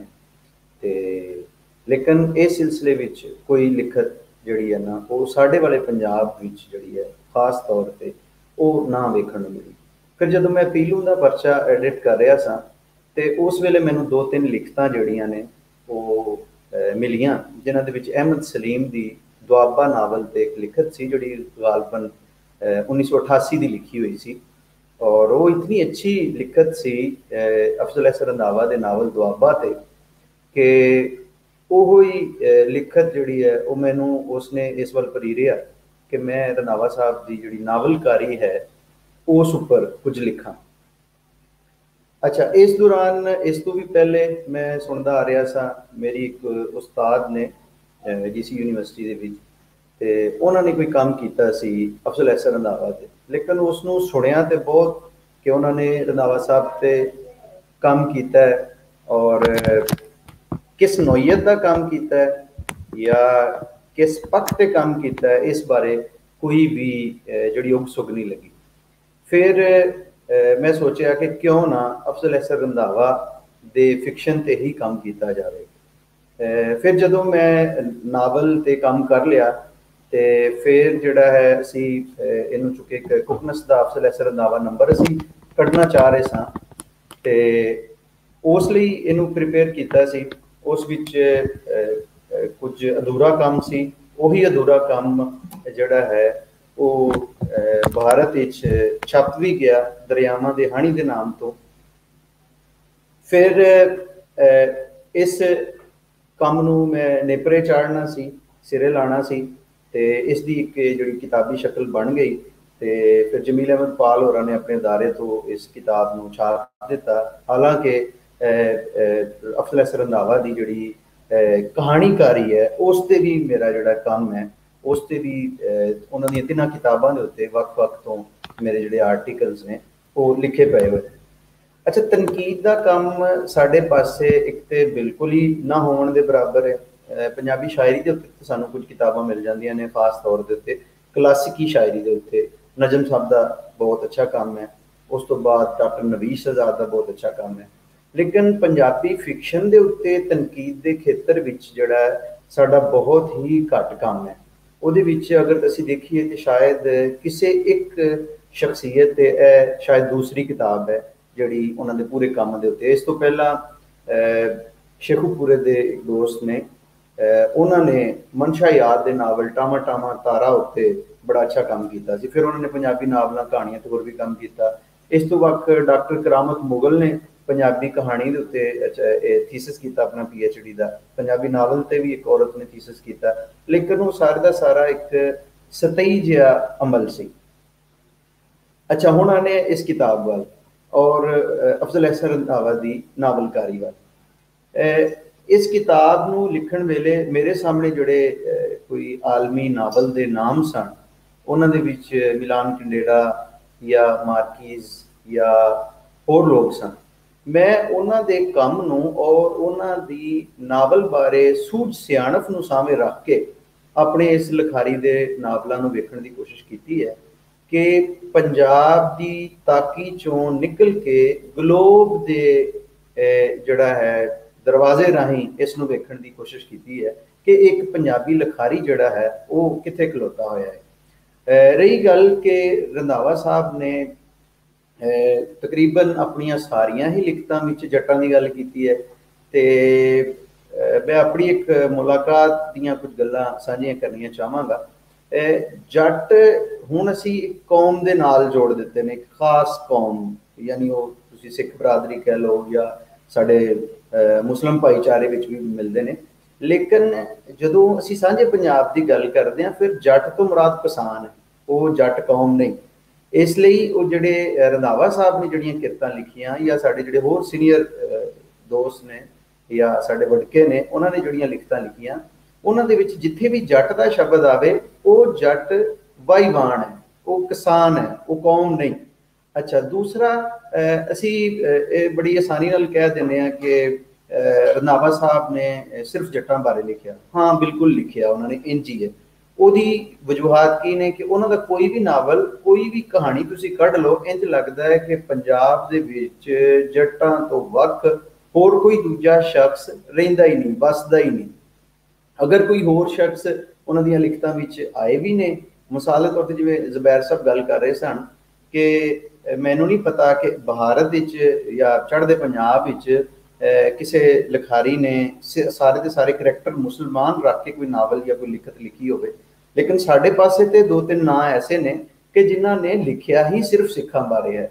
ਮੈਂ ਆਪਣੀ ਇਸ ਕਿਤਾਬ ਵਿੱਚ ਜ਼ਿਕਰ ਵੀ ਕੀਤਾ ਕਿ ਉਦੋਂ 60 ਜਾਂ 70 ਦੇ ਦਹਾਕੇ ਵਿੱਚ ਇਹ ਗੱਲਾਂ ਜਿਹੜੀਆਂ ਨੇ, ਉਹ ਸਾਡੀ ਸਟੇਟ ਨੂੰ ਵੀ ਵਾਰਾ ਖਾਂਦੀਆਂ ਸਨ ਔਰ ਸਾਡਾ ਜਿਹੜਾ ਲਿਟਰੇਚਰ ਹੈ ਜਿਹੜਾ ਉਦੋਂ ਸਾਡੇ ਇੱਧਰ ਲਿਖਿਆ ਗਿਆ ਸ਼ੁਰੂ ਸ਼ੁਰੂ ਵਿੱਚ ਤੇ ਉਹ ਇੰਡੀਆ ਵਿੱਚ ਵੀ ਚੁੰਮ ਚੱਟ ਕੇ ਜਿਹੜਾ ਉਹਨੂੰ ਸਾਂਭ ਸੰਭਾਲ ਕੇ ਰੱਖਿਆ ਜਾਂਦਾ ਰਿਹਾ ਔਰ ਉਹਦਾ ਵਿਰਦ ਪਕਾਇਆ ਜਾਂਦਾ ਰਿਹਾ। ਲੇਕਿਨ ਪਾਕਿਸਤਾਨੀ ਉਸ ਲਿਟਰੇਚਰ ਬਾਰੇ ਡਾਕਟਰ ਇਤਰ ਸਿੰਘ ਨੇ ਬਹੁਤ ਅੱਛੀ ਗੱਲ ਕੀਤੀ ਕਿ ਜਦੋਂ ਸਾਡੇ ਲਿਖਾਰੀ ਜਿਹੜੇ ਸਾਂਝੇ ਪੰਜਾਬ ਦੀ ਗੱਲ ਕਰ ਰਹੇ ਸਨ ਜਾਂ ਜਿਹੜੇ ਜੱਟ ਕਿਸਾਨ ਭਾਈਚਾਰੇ ਨੂੰ ਲੱਗੀ ਢਾਹ ਦੀ ਗੱਲ ਕਰ ਰਹੇ ਸਨ, ਉਹਦੇ ਵਿੱਚ ਔਰ ਜਿਹੜਾ ਉਧਰ ਅਮਰਤਾ ਪ੍ਰੀਤਮ ਜਾਂ ਗੁਰਦਿਆਲ ਸਿੰਘ ਜਾਂ ਬਾਕੀ ਜਿਹੜੇ ਨਾਵਲਕਾਰ ਨੇ, ਉਹ ਜਿਹੜੀ ਗੱਲ ਕਰ ਰਹੇ ਸਨ, ਉਹ ਇੱਕ ਦੂਸਰੇ ਤੋਂ ਨਖੇੜਵੀਂ ਕਿਵੇਂ ਸੀ? ਅਸੀਂ ਅਗਰ ਉਧਰ ਦੇ ਨਾਵਲ ਦੇਖਦੇ ਹਾਂ, ਜਿਹੜੇ ਤਕਸੀਮ ਬਾਰੇ ਨੇ, ਜਿਹੜੇ ਵੰਡ ਬਾਰੇ ਨੇ, ਤੇ ਉਹਨਾਂ ਦੇ ਵਿੱਚ ਉੱਜੜ ਗਿਆ ਦੀਆਂ ਯਾਦਾਂ ਨੇ। ਯਾਨੀ ਜਿਹੜੇ ਉਥੋਂ ਉੱਜੜ ਕੇ ਦੂਸਰੇ ਪਾਸੇ ਚਲੇ ਗਏ ਜਾਂ ਇਧਰੋਂ ਉੱਜੜ ਕੇ ਉਧਰ ਚਲੇ ਗਏ, ਉਹਨਾਂ ਦੀਆਂ ਯਾਦਾਂ ਨੇ। ਲੇਕਿਨ ਰੰਧਾਵਾ ਔਰ ਸਲੀਮ ਖਾਨ ਗਿੰਮੀ ਦੀਆਂ ਲਿਖਤਾਂ ਦੇ ਵਿੱਚ ਵਸਦੇ ਰਹਿ ਗਿਆਂ ਦੀਆਂ ਯਾਦਾਂ ਨੇ। ਯਾਨੀ ਇਹਨਾਂ ਨੇ ਪੰਜਾਬ ਟੁੱਟਦਾ ਹੋਇਆ ਨਹੀਂ ਵਿਖਾਇਆ। ਇਹਨਾਂ ਦੀਆਂ ਲਿਖਤਾਂ ਵਿੱਚ ਪੰਜਾਬ ਦਾ ਜਿਹੜਾ ਵੰਡ ਦਾ ਦੁਖਾਂਤ ਹੈ, ਉਹ ਉਸ ਤਰ੍ਹਾਂ ਉਗੜ ਕੇ ਸਾਹਮਣੇ ਨਹੀਂ ਆਇਆ। ਲੇਕਿਨ ਜਿਹੜੇ ਲੋਕ ਵਸਦੇ ਰਹਿ ਗਏ, ਜਿਹੜੇ ਲੋਕ ਵਸਦੇ ਰਹਿ ਗਏ, ਉਹਨਾਂ ਦੀਆਂ ਜਿਹੜੀਆਂ ਯਾਦਾਂ ਨੇ, ਉਹ ਇਹਨਾਂ ਨਾਵਲਾਂ ਰਾਹੀਂ ਸਾਡੇ ਸਾਹਮਣੇ ਆਈਆਂ। ਮੈਂ ਇੱਕ ਦਫਾ ਰਨਾਵਾ ਸਾਹਿਬ ਨੂੰ ਚੁੱਕੇ ਬੜੀ ਕੁਰਬਤ ਵੀ ਰਹੀ ਉਹਨਾਂ ਨਾਲ, ਤੇ ਮੈਂ ਉਹਨਾਂ ਨੂੰ ਐਵੇਂ ਸਵਾਲ ਪੁੱਛਿਆ ਇੱਕ, ਕਿ ਮੈਂ ਕਿਹਾ, ਸਰ, ਇਹ ਤੇ ਦੱਸੋ ਕਿ ਤੁਸੀਂ ਜਿਹੜਾ ਸਾਂਝੇ ਪੰਜਾਬ ਦੀ ਗੱਲ ਕੀਤੀ, ਤੇ ਜਦੋਂ ਤੁਸੀਂ ਪੈਦਾ ਹੋਏ, ਉਹਨਾਂ ਦਾ ਜਿਹੜਾ ਜੰਮਣ ਵਰਾ ਹੈ, ਉਹ 1935 27 ਜੁਲਾਈ 1935 ਹਸੈਨਪੁਰਾ, ਅੰਮ੍ਰਿਤਸਰ ਭਾਰਤ ਦਾ ਤੇ ਮੈਂ ਕਿਹਾ, ਤੁਸੀਂ ਜਦੋਂ ਪੈਦਾ ਹੋਏ, ਤੇ ਉਸ ਤੋਂ ਬਾਅਦ ਕੋਈ 12 ਸਾਲ ਬਾਅਦ ਜਾਂ 10 ਸਾਲ ਬਾਅਦ ਜੋ ਤੁਹਾਡੀ ਡੇਟ ਆਫ ਬਰਥ ਦੇ ਮੁਤਾਬਕ ਬਣਦੀ ਹੈ ਤੇ ਇੰਨੀ ਉਮਰ ਵਿੱਚ ਤੇ ਤੁਸੀਂ ਆਪਣਾ ਉਹ ਜਿਹੜਾ ਸਾਂਝਾ ਪੰਜਾਬ, ਉਹਦੇ ਚ ਕੀ ਕੁਝ ਵੇਖ ਲਿਆ ਹੋਏਗਾ? ਜੇ ਉਹ ਸ਼ੌਰ ਦੀਆਂ ਜਿਹੜੀਆਂ ਇੱਕ ਮੰਜ਼ਲਾਂ ਤੈਅ ਕਰਨੀਆਂ ਹੁੰਦੀਆਂ ਨੇ ਇੱਕ ਇਨਸਾਨ ਨੇ, ਉਹ ਉਹਦੇ ਵਿੱਚ ਤੁਸੀਂ ਕਿੰਨਾ ਕੁਝ ਵੇਖ ਲਿਆ ਹੋਵੇਗਾ ਜਿਹੜਾ ਤੁਸੀਂ ਸਾਂਝੇ ਪੰਜਾਬ ਦੀ ਗੱਲ ਕਰਦੇ ਹੋ? ਤੇ ਉਹਨਾਂ ਇੱਕ ਬੜੀ ਖੂਬਸੂਰਤ ਗੱਲ ਕੀਤੀ, ਜਿਹਨੂੰ ਮੈਂ ਕਿਧਰੇ ਬਾਅਦ ਵਿੱਚ ਕੋਟ ਵੀ ਕਰਾਂਗਾ, ਕਿ ਉਹਨਾਂ ਆਖਿਆ ਕਿ ਇਹ ਇਸ ਵਜ੍ਹਾ ਤੋਂ ਹੈ ਕਿ ਜਦੋਂ ਅਸੀਂ ਇੱਧਰ ਸਾਡੇ ਪੰਜਾਬ ਵਿੱਚ 47 ਤੋਂ ਬਾਅਦ ਜਦੋਂ ਅਸੀਂ ਯਾਨੀ ਕਿ ਅਦਬੀ ਲਹਿਰ ਨਾਲ ਜੁੜੇ, ਪੰਜਾਬੀ ਤਹਿਰੀਕ ਨਾਲ ਜੁੜੇ, ਤੇ ਅਸੀਂ ਲਿਖਤਾਂ ਲਿਖਣੀਆਂ ਸ਼ੁਰੂ ਕੀਤੀਆਂ, ਤੇ ਸਾਡੇ ਇੱਧਰ ਪੰਜਾਬੀ ਲਫ਼ਜ਼ ਬੋਲਣ ਵਾਲਾ, ਪੰਜਾਬ ਦਾ ਨਾਂ ਲੈਣ ਵਾਲਾ, ਪੰਜਾਬ ਦੇ ਹੱਕ ਵਿੱਚ ਬੋਲਣ ਵਾਲਾ ਜਿਹੜਾ ਉਸ ਉਹ ਸਟੇਟ ਨੂੰ ਵਾਰਾ ਨਹੀਂ ਸਿਖਾਉਂਦਾ ਉਹ ਸਾਡੇ ਰਿਆਸਤ ਨੂੰ ਵਾਰਾ ਨਹੀਂ ਸਿਖਾਉਂਦਾ ਠੀਕ ਹੈ? ਤੇ ਇਸ ਸਿਲਸਿਲੇ ਵਿੱਚ ਕੀ ਹੋਇਆ ਕਿ ਅਸੀਂ ਕੋਈ 10-12 ਲੋਕ ਸਾਂ, ਜਿਵੇਂ ਕਿ ਜ਼ੁਬੈਰ ਸਾਹਿਬ ਨੇ ਨਾਮ ਲਿਆ ਸ਼ਫਕਤ ਅਨਵੀ ਮਿਰਜ਼ਾ ਜਾਂ ਸ਼ਰੀਫ ਪੰਜਾਹੀ ਅਹਿਮਦ ਰਾਈ ਮਨੀਰ ਨਿਆਜ਼ੀ ਜਾਂ ਨਜਮ ਹੁਸੈਨ ਸੈਯਦ ਜਾਂ ਬਾਕੀ ਲੋਕ ਜਿਹੜੇ ਉਸ ਵੇਲੇ ਪੰਜਾਬੀ ਦੇ ਨਾਲ ਜੁੜੇ ਹੋਏ ਸਨ। ਤੇ ਉਹ ਕਹਿੰਦੇ ਨੇ ਕਿ ਅਸੀਂ 10-12 ਲੋਕ ਸਾਂ, ਅਸੀਂ ਕੋਈ ਕਿਤਾਬਾਂ ਲਿਖਦੇ ਸਾਂ, ਅਸੀਂ ਛਾਪਦੇ ਸਾਂ, ਆਪੂ ਵਿੱਚ ਵੰਡ ਕੇ ਪੜ੍ਹ ਲੈਂਦੇ ਸਾਂ। ਹੋਇਆ ਇੰਜ ਕਿ ਜਦੋਂ ਮੇਰੀ ਪਹਿਲੀ ਕਿਤਾਬ ਜਿਹੜੀ ਹੈ ਰਨ ਤਲਵਾਰ ਤੇ ਘੋੜਾ, ਉਹ ਛਪੀ ਤੇ ਉਹਦੇ ਵਿੱਚ ਮੈਂ ਉਹ ਸਾਂਝੇ ਪੰਜਾਬ ਤੇ ਕੁਝ ਸਿੱਖ ਪਾਤਰ ਜਿਹੜੇ ਮੈਂ ਆਪਣੀ ਹਯਾਤੀ ਵਿੱਚ ਕੁਝ ਵੇਖੇ, ਕੋਈ ਮੇਰੇ ਨੇੜੇ ਰਹੇ ਜਾਂ ਸਾਡੇ ਇਲਾਕੇ ਵਿੱਚ ਰਹੇ, ਤੇ ਉਹਨਾਂ ਬਾਰੇ ਜਦੋਂ ਮੈਂ ਲਿਖਿਆ ਤੇ ਉਸ ਨੂੰ ਬਹੁਤ ਸਲਾਹਿਆ ਗਿਆ। ਫਿਰ ਕੀ ਹੋਇਆ ਕਿ ਮੈਂ ਉਸੇ ਲੀ ਤੇ ਹੀ ਟੁਰ ਪਿਆ। ਯਾਨੀ ਮੇਰੀ ਉਹੀ ਤਕਨੀਕ, ਮੇਰਾ ਉਹੀ ਅਸਲੂਬ ਜਿਹੜਾ ਹੈ, ਉਹ ਲੋਕਾਂ ਨੂੰ ਇਤਨਾ ਪਸੰਦ ਆਇਆ ਕਿ ਮੈਂ ਫਿਰ ਉਸ ਨੂੰ ਹੀ ਆਪਣਾ ਹਵਾ ਬਣਾ ਲਿਆ। ਸਾਰੇ ਵੱਡੇ ਲਿਖਾਰੀ ਇੰਜ ਹੀ ਕਰਦੇ ਨੇ। ਕਿ ਉਹ ਫਿਰ ਜਿਹੜੀ ਇੱਕ ਚੀਜ਼ ਉਹਨਾਂ ਦੀ ਲੋਕਾਂ ਦੇ ਵਿੱਚ ਮਕਬੂਲ ਹੋ ਜਾਂਦੀ ਹੈ ਤੇ ਉਸ ਨੂੰ ਹੀ ਉਹ ਅੱਗੇ ਆਪਣੀ ਪੂਰੀ ਜ਼ਿੰਦਗੀ, ਆਪਣੀਆਂ ਪੂਰੀਆਂ ਲਿਖਤਾਂ ਦੇ ਵਿੱਚ ਜਿਹੜਾ ਉਹ ਲਿਖਦੇ ਰਹਿੰਦੇ ਨੇ। ਤੇ ਉਹਨਾਂ ਦਾ ਇਸ ਬਾਰੇ ਇਹ ਆਖਣਾ ਸੀ ਕਿ ਚੂੰਕਿ ਮੈਨੂੰ ਪੜਨ ਵਾਲੇ ਕਾਰੀ ਉਧਰ ਦੇ ਮਿਲੇ, ਮੈਨੂੰ ਪੜਨ ਵਾਲੇ ਪਾਠਕ ਜਿਹੜੇ ਨੇ ਉਹ ਚੜ੍ਹਦੇ ਪੰਜਾਬ ਵਿੱਚ ਮਿਲੇ, ਸਾਡੇ ਇੱਧਰ ਦੇ ਕੋਈ ਪੰਜਾਬੀ ਪੜ੍ਹਾਈ ਲਿਖਾਈ ਦਾ ਸਿਲਸਿਲਾ ਹੀ ਕੋਈ ਨਹੀਂ ਸੀ। ਇਸ ਕਰਕੇ ਮੈਂ ਜਿਹੜਾ ਹੈ, ਉਹ ਸਿੱਖ ਪਾਤਰ ਜਿਹੜੇ ਨੇ ਉਹ ਚੁਣੇ ਨੇ। ਹਾਲਾਂਕਿ ਉਹਨਾਂ ਦੇ ਅਗਲੇ ਜਿਹੜੇ ਦੋ ਨਾਵਲ ਨੇ, ਉਹਨਾਂ ਨੂੰ ਪੜ੍ਹੋ ਤੇ ਉਹਨਾਂ ਦੇ ਵਿੱਚ ਜਿਹੜਾ ਸੂਰਜ ਗ੍ਰਹਿਣ ਆ, ਉਹਦੇ ਵਿੱਚ ਤੇ ਸਿੱਖ ਪਾਤਰ ਹੈ ਹੀ ਕੋਈ ਨਹੀਂ, ਇੱਕ ਵੀ ਨਹੀਂ। ਹਾਂ, ਅਲਬੱਤਾ ਉਹਦਾ ਵੀ ਜਿਹੜਾ ਮੇਨ ਕੈਰੈਕਟਰ ਹੈ ਮਿਰਜ਼ਾ ਜਾਂ ਹਾਰਸਮੈਨ ਉਹਦਾ ਤਲਕ ਵੀ ਜੱਟ ਫੈਮਿਲੀ ਨਾਲ ਹੈ। ਜਦੋਂ ਕਿ ਆਖਰੀ ਨਾਵਲ ਜਿਹੜਾ ਉਹਨਾਂ ਦਾ ਪੰਧ ਹੈ, ਉਸ ਵਿੱਚ ਵੀ ਕੋਈ ਸਾਨੂੰ ਸਿੱਖ ਪਾਤਰ ਇਤਨਾ ਖਾਸ ਨਹੀਂ ਮਿਲਦਾ।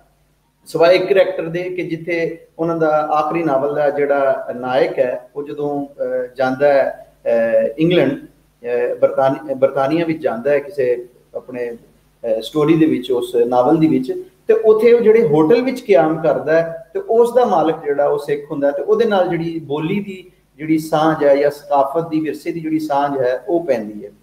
ਤੇ ਇਸ ਕਰਕੇ ਦੋ ਤਿੰਨ ਚੀਜ਼ਾਂ ਜਿਹੜੀਆਂ ਉਹਨਾਂ ਦੀ ਨਾਵਲਕਾਰੀ ਬਾਰੇ ਉਹ ਉਹਨਾਂ ਤੋਂ ਹਟ ਕੇ ਸਾਨੂੰ ਜਿਹੜੀ ਹੈ ਉਹ ਗੱਲਬਾਤ ਕਰਨੀ ਚਾਹੀਦੀ ਹੈ। ਇੱਕ ਤੇ ਇਹ ਕਿ ਜਿਹੜੇ ਆ ਉਹਨਾਂ ਨੇ ਬਿਆਨ ਕੇ ਇਹਨਾਂ ਲਿਖਤਾਂ ਦੇ ਹਵਾਲੇ ਨਾਲ ਜਿਹੜਾ ਹੈ ਕਿ ਅਸੀਂ ਉਹਨਾਂ ਨੂੰ ਖਾਸ ਤੌਰ ਤੇ ਉਹਨਾਂ ਦੀ ਜਿਹੜੀਆਂ ਪਹਿਲੀਆਂ ਤਿੰਨ ਲਿਖਤਾਂ ਨੇ ਸਪੈਸ਼ਲੀ ਫਿਕਸ਼ਨ ਦੇ ਵਿੱਚ ਰਨ ਤਲਵਾਰ ਤੇ ਘੋੜਾ, ਦੁਆਬਾ ਔਰ ਦੀਵਾ ਤੇ ਦਰਿਆ। ਅੱਜ ਤੱਕ ਪੰਜਾਬੀ ਦੇ ਕਿਸੇ ਨਿਕਾਦ ਨੇ, ਪੰਜਾਬੀ ਦੇ ਕਿਸੇ ਉਸਤਾਦ ਨੇ, ਪੰਜਾਬੀ ਦੇ ਕਿਸੇ ਲਖਾਰੀ ਨੇ ਉਸ ਮਹਾਂਦਰੇ ਚੋਂ ਕੱਢ ਕੇ ਅਫਜ਼ਲ ਅਹਿਸਨ ਰੰਧਾਵਾ ਨੂੰ ਕਦੇ ਵੀ ਵੇਖਿਆ ਨਹੀਂ। ਇਹਦੇ ਦੋ ਤਿੰਨ ਇਹਦੀਆਂ ਸਾਨੂੰ ਅੱਗੇ ਵਜੂਹਾਤ ਮਿਲਦੀਆਂ ਨੇ। ਇੱਕ ਤੇ ਉਹ ਕਿ ਉਹ ਰੰਧਾਵਾ ਸਾਹਿਬ ਨੂੰ ਕਿਸੇ ਹੋਰ ਰੰਗ ਵਿੱਚ ਵੇਖਣਾ ਹੀ ਨਹੀਂ ਚਾਹੁੰਦੇ। ਦੂਸਰਾ, ਉਹ ਗਵਾਹੀ ਹੈ ਰੰਧਾਵਾ ਸਾਹਿਬ ਦੇ ਅਗਲੇ ਦੋ ਨਾਵਲ। ਪਹਿਲੇ ਦੋ ਨਾਵਲ ਜਿਹੜੇ ਨੇ ਉਹ ਸਾਡੀ ਪਿੰਡੂ ਵਸੋਂ ਬਾਰੇ ਨੇ। ਰੰਧਾਵਾ ਸਾਹਿਬ ਤੋਂ ਪਹਿਲਾਂ ਸਾਡੀ ਪਿੰਡੂ ਵਸੋਂ ਬਾਰੇ, ਪੰਜਾਬ ਦੀ ਪਿੰਡੂ ਰਹਿਤਲ ਬਾਰੇ ਸਾਨੂੰ ਸਿਰਫ ਇੱਕ ਨਾਵਲ ਲਿਖਿਆ ਹੋਇਆ ਮਿਲਦਾ ਹੈ, ਉਹ ਹੈ ਜੱਟ ਦੀ ਕਰਤੂਤ, ਮੀਰਾ ਬਖਸ਼ ਮਨਹਾਸ ਦਾ। ਲੇਕਿਨ ਰੰਧਾਵਾ ਸਾਹਿਬ ਤੋਂ ਬਾਅਦ ਜਿਹੜਾ ਉਹ ਇੱਕ ਲੰਮੀ ਸਾਨੂੰ ਲੜੀ ਜਿਹੜੀ ਹੈ, ਉਹ ਵੇਖਣ ਨੂੰ ਮਿਲਦੀ ਹੈ। ਦੀਵਾ ਤੇ ਦਰਿਆ ਔਰ ਦੁਆਬਾ ਜਿਹੜਾ ਹੈ, ਇਹ ਉਹਨਾਂ ਦੇ ਅਬਾਈ ਪਿੰਡ ਕਿਆਮਪੁਰ ਦੀ ਜਿਹੜੀ ਜੂ ਹੈ, ਉਸ ਦੇ ਦਿਵਾਲੇ ਹੀ ਇਹਨਾਂ ਦੀਆਂ ਦੋਨਾਂ ਦੀਆਂ ਕਹਾਣੀਆਂ ਜਿਹੜੀਆਂ ਬੁਣੀਆਂ ਗਈਆਂ ਨੇ, ਕਹਾਣੀਆਂ ਸੇਮ ਨੇ, ਲੇਕਿਨ ਇਹਨਾਂ ਦੇ ਵਿੱਚ ਕੁਝ ਕੁਝ ਜਿਹੜੇ ਟੱਚ ਨੇ, ਉਹ ਮੁxtਲਫ ਨੇ, ਬਿਆਨੀਆਂ ਦੇ ਵੀ ਔਰ ਕਹਾਣੀ ਦੇ ਵੀ, ਪਾਤਰਾਂ ਦੇ ਵੀ। ਔਰ ਉਹਨਾਂ ਨੂੰ ਰੰਧਾਵਾ ਸਾਹਿਬ ਨੇ ਜਿਹੜਾ ਬੜਾ ਅਹਿਸਨ ਤਰੀਕੇ ਨਾਲ ਨਿਭਾਇਆ। ਜਿਹੜੇ ਆਖਰੀ ਦੋ ਨਾਵਲ ਨੇ, ਪਹਿਲੇ ਦੋ ਨਾਵਲ ਧਰਤੀ ਨਾਲ ਜੁੜੇ ਹੋਏ ਬੰਦੇ ਦੇ ਜਿਹੜੀ ਵਿਪਤਾ ਬਿਆਨ ਕਰਦੇ ਨੇ।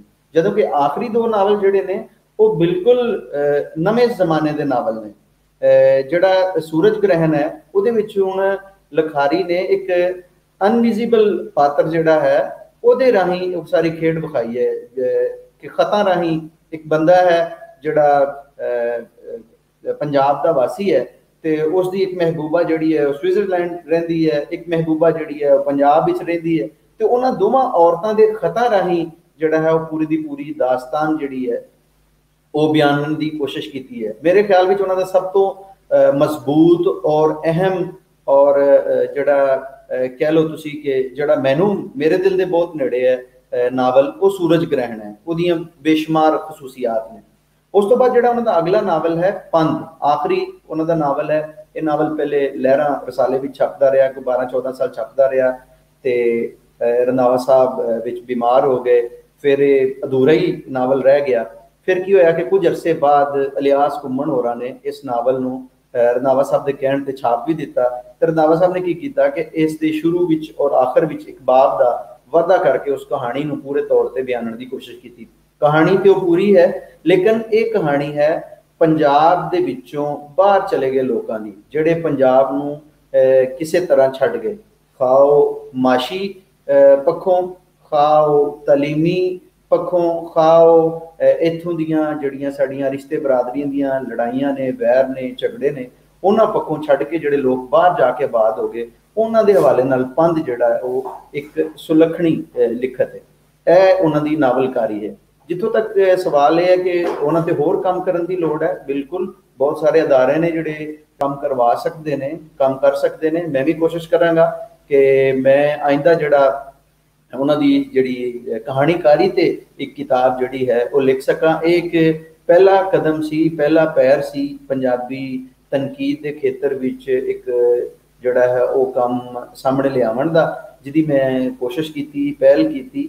ਔਰ ਉਮੀਦ ਕਰਦਾ ਹਾਂ ਕਿ ਅੱਗੇ ਵੀ ਮੇਰਾ ਕਹਾਣੀ ਤੇ, ਪੰਜਾਬੀ ਕਹਾਣੀ ਤੇ ਇੱਕ ਬਹੁਤ ਅੱਛਾ ਕੰਮ ਚੱਲ ਰਿਹਾ ਹੈ, ਉਹ ਵੀ ਜਲਦੀ ਜਿਹੜਾ ਉਹ ਸਿਰੇ ਚੜੇਗਾ ਲੇਕਿਨ ਇਹ ਹੈ ਕਿ ਸਾਡੇ ਪੰਜਾਬੀ ਸ਼ਾਇਰੀ ਪੜਨ ਵਾਲੇ ਤੇ ਬਹੁਤ ਨੇ। ਪੰਜਾਬੀ ਫਿਕਸ਼ਨ ਵੀ ਥੋੜ ਬਹੁਤ ਪੜਨ ਵਾਲੇ ਲੋਕ ਹੈ ਨੇ, ਪਰ ਪੰਜਾਬੀ ਤਨਕੀਦ ਪੜਨ ਵਾਲੇ ਤੇ ਬਿਲਕੁਲ ਹੀ ਘੱਟ ਨੇ। ਅਗਰ ਇਸੇ ਇਸੇ ਵਜ੍ਹਾ ਤੋਂ ਸ਼ਾਇਦ ਤਨਕੀਦ ਲਿਖਣ ਵਾਲੇ ਵੀ ਘੱਟ ਨੇ।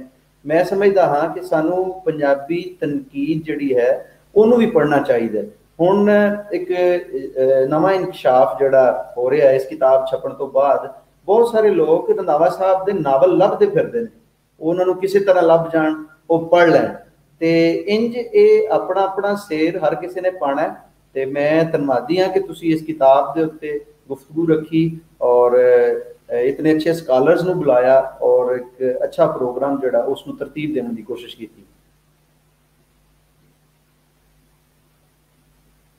ਜੀ ਬਹੁਤ ਸ਼ੁਕਰੀਆ ਜਾਜ ਸਾਹਿਬ ਤੁਹਾਡਾ। ਔਰ ਅੱਜ, ਕਿਉਂਕਿ ਅਸੀਂ ਅੱਜ ਦੀ ਗੱਲਬਾਤ ਇਸ ਤਰ੍ਹਾਂ ਵੀ ਕਰਦੀ ਕੀਤੀ ਹੈ ਕਿ ਮੇਰਾ ਖਿਆਲ ਹੈ ਕਿ ਅਸੀਂ ਬਾਕੀ ਜਿਹੜੇ ਸਾਡੇ ਦੋਸਤ ਨੇ, ਉਹਨਾਂ ਨੂੰ ਵੀ ਅਸੀਂ ਅਗਰ ਬੁਲਾ ਲਈਏ ਸਕਰੀਨ ਤੇ ਤੇ ਦੁਪਹਿਰ ਸਾਹਿਬ ਔਰ ਐਨ ਸੁਖਰਨ ਤੇ ਇਜਾਜ਼, ਅਸੀਂ ਰੰਧਾਵਾ ਸਾਹਿਬ ਦੇ ਨਾਲ ਜਿਹੜਾ ਹੈ ਕੁਝ ਮੁਲਾਕਾਤਾਂ ਰਹੀਆਂ ਕਿਤੇ ਉਹਨਾਂ ਦੀ ਜਿਹੜਾ ਗੱਲਾਂ ਦੇ ਵਿੱਚ ਜਿਹੜੀ ਅਸੀਂ ਚੀਜ਼ ਵੇਖੀ ਸੀ ਔਰ ਕਿ ਮਤਲਬ ਪੰਜਾਬ ਦੇ ਹਵਾਲੇ ਨਾਲ ਜਿਹੜਾ ਉਹਨਾਂ ਦਾ ਪੁਆਇੰਟ ਆਫ View ਸੀ ਕਿ ਪੰਜਾਬ ਦੀ ਜਿਹੜੀ ਬੋਲੀ ਹੈ ਉਹਦੇ ਹਵਾਲੇ ਨਾਲ। ਇੱਕ ਉਹਨਾਂ ਦੀ ਗੱਲ ਮੈਨੂੰ ਯਾਦ ਹੈ ਉਹਨਾਂ ਨੇ ਆਪਣੇ ਸੁਲੇਖ ਮੇਲੇ ਤੇ ਵੀ ਕਹੀ ਸੀ ਕਿ ਅੰਗਰੇਜ਼ ਤੋਂ ਲੈ ਕੇ ਹੁਣ ਤੱਕ ਪੰਜਾਬੀ ਲਾਗੂ ਜਿਹੜੀ ਨਹੀਂ ਹੁੰਦੀ ਪਈ, ਉਹਦੇ ਪਿੱਛੇ ਇੱਕ ਵੱਡਾ ਕਾਰਨ ਇਹ ਹੈ ਕਿ ਜਿਹੜੇ ਪੰਜਾਬੀ ਲਾਗੂ ਕਰਨ ਵਾਲੇ ਨੇ, ਉਹ ਇਹ ਨਹੀਂ ਚਾਹੁੰਦੇ ਕਿ ਪੰਜਾਬ ਪੜੇ ਤੋਂ ਪੰਜਾਬ ਨੂੰ ਅਨਪੜ੍ਹ ਰੱਖਣ ਵਾਸਤੇ ਪੰਜਾਬੀ ਨਹੀਂ ਲਈ ਜਾਂਦੀ।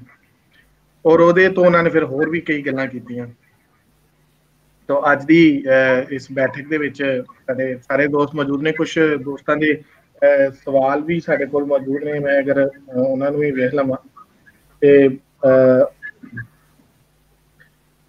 ਇਜਾਜ਼ ਸਾਹਿਬ ਦੇ ਹਵਾਲੇ ਨਾਲ ਜਿਹੜਾ ਹੈ, ਉਹਨਾਂ ਨੇ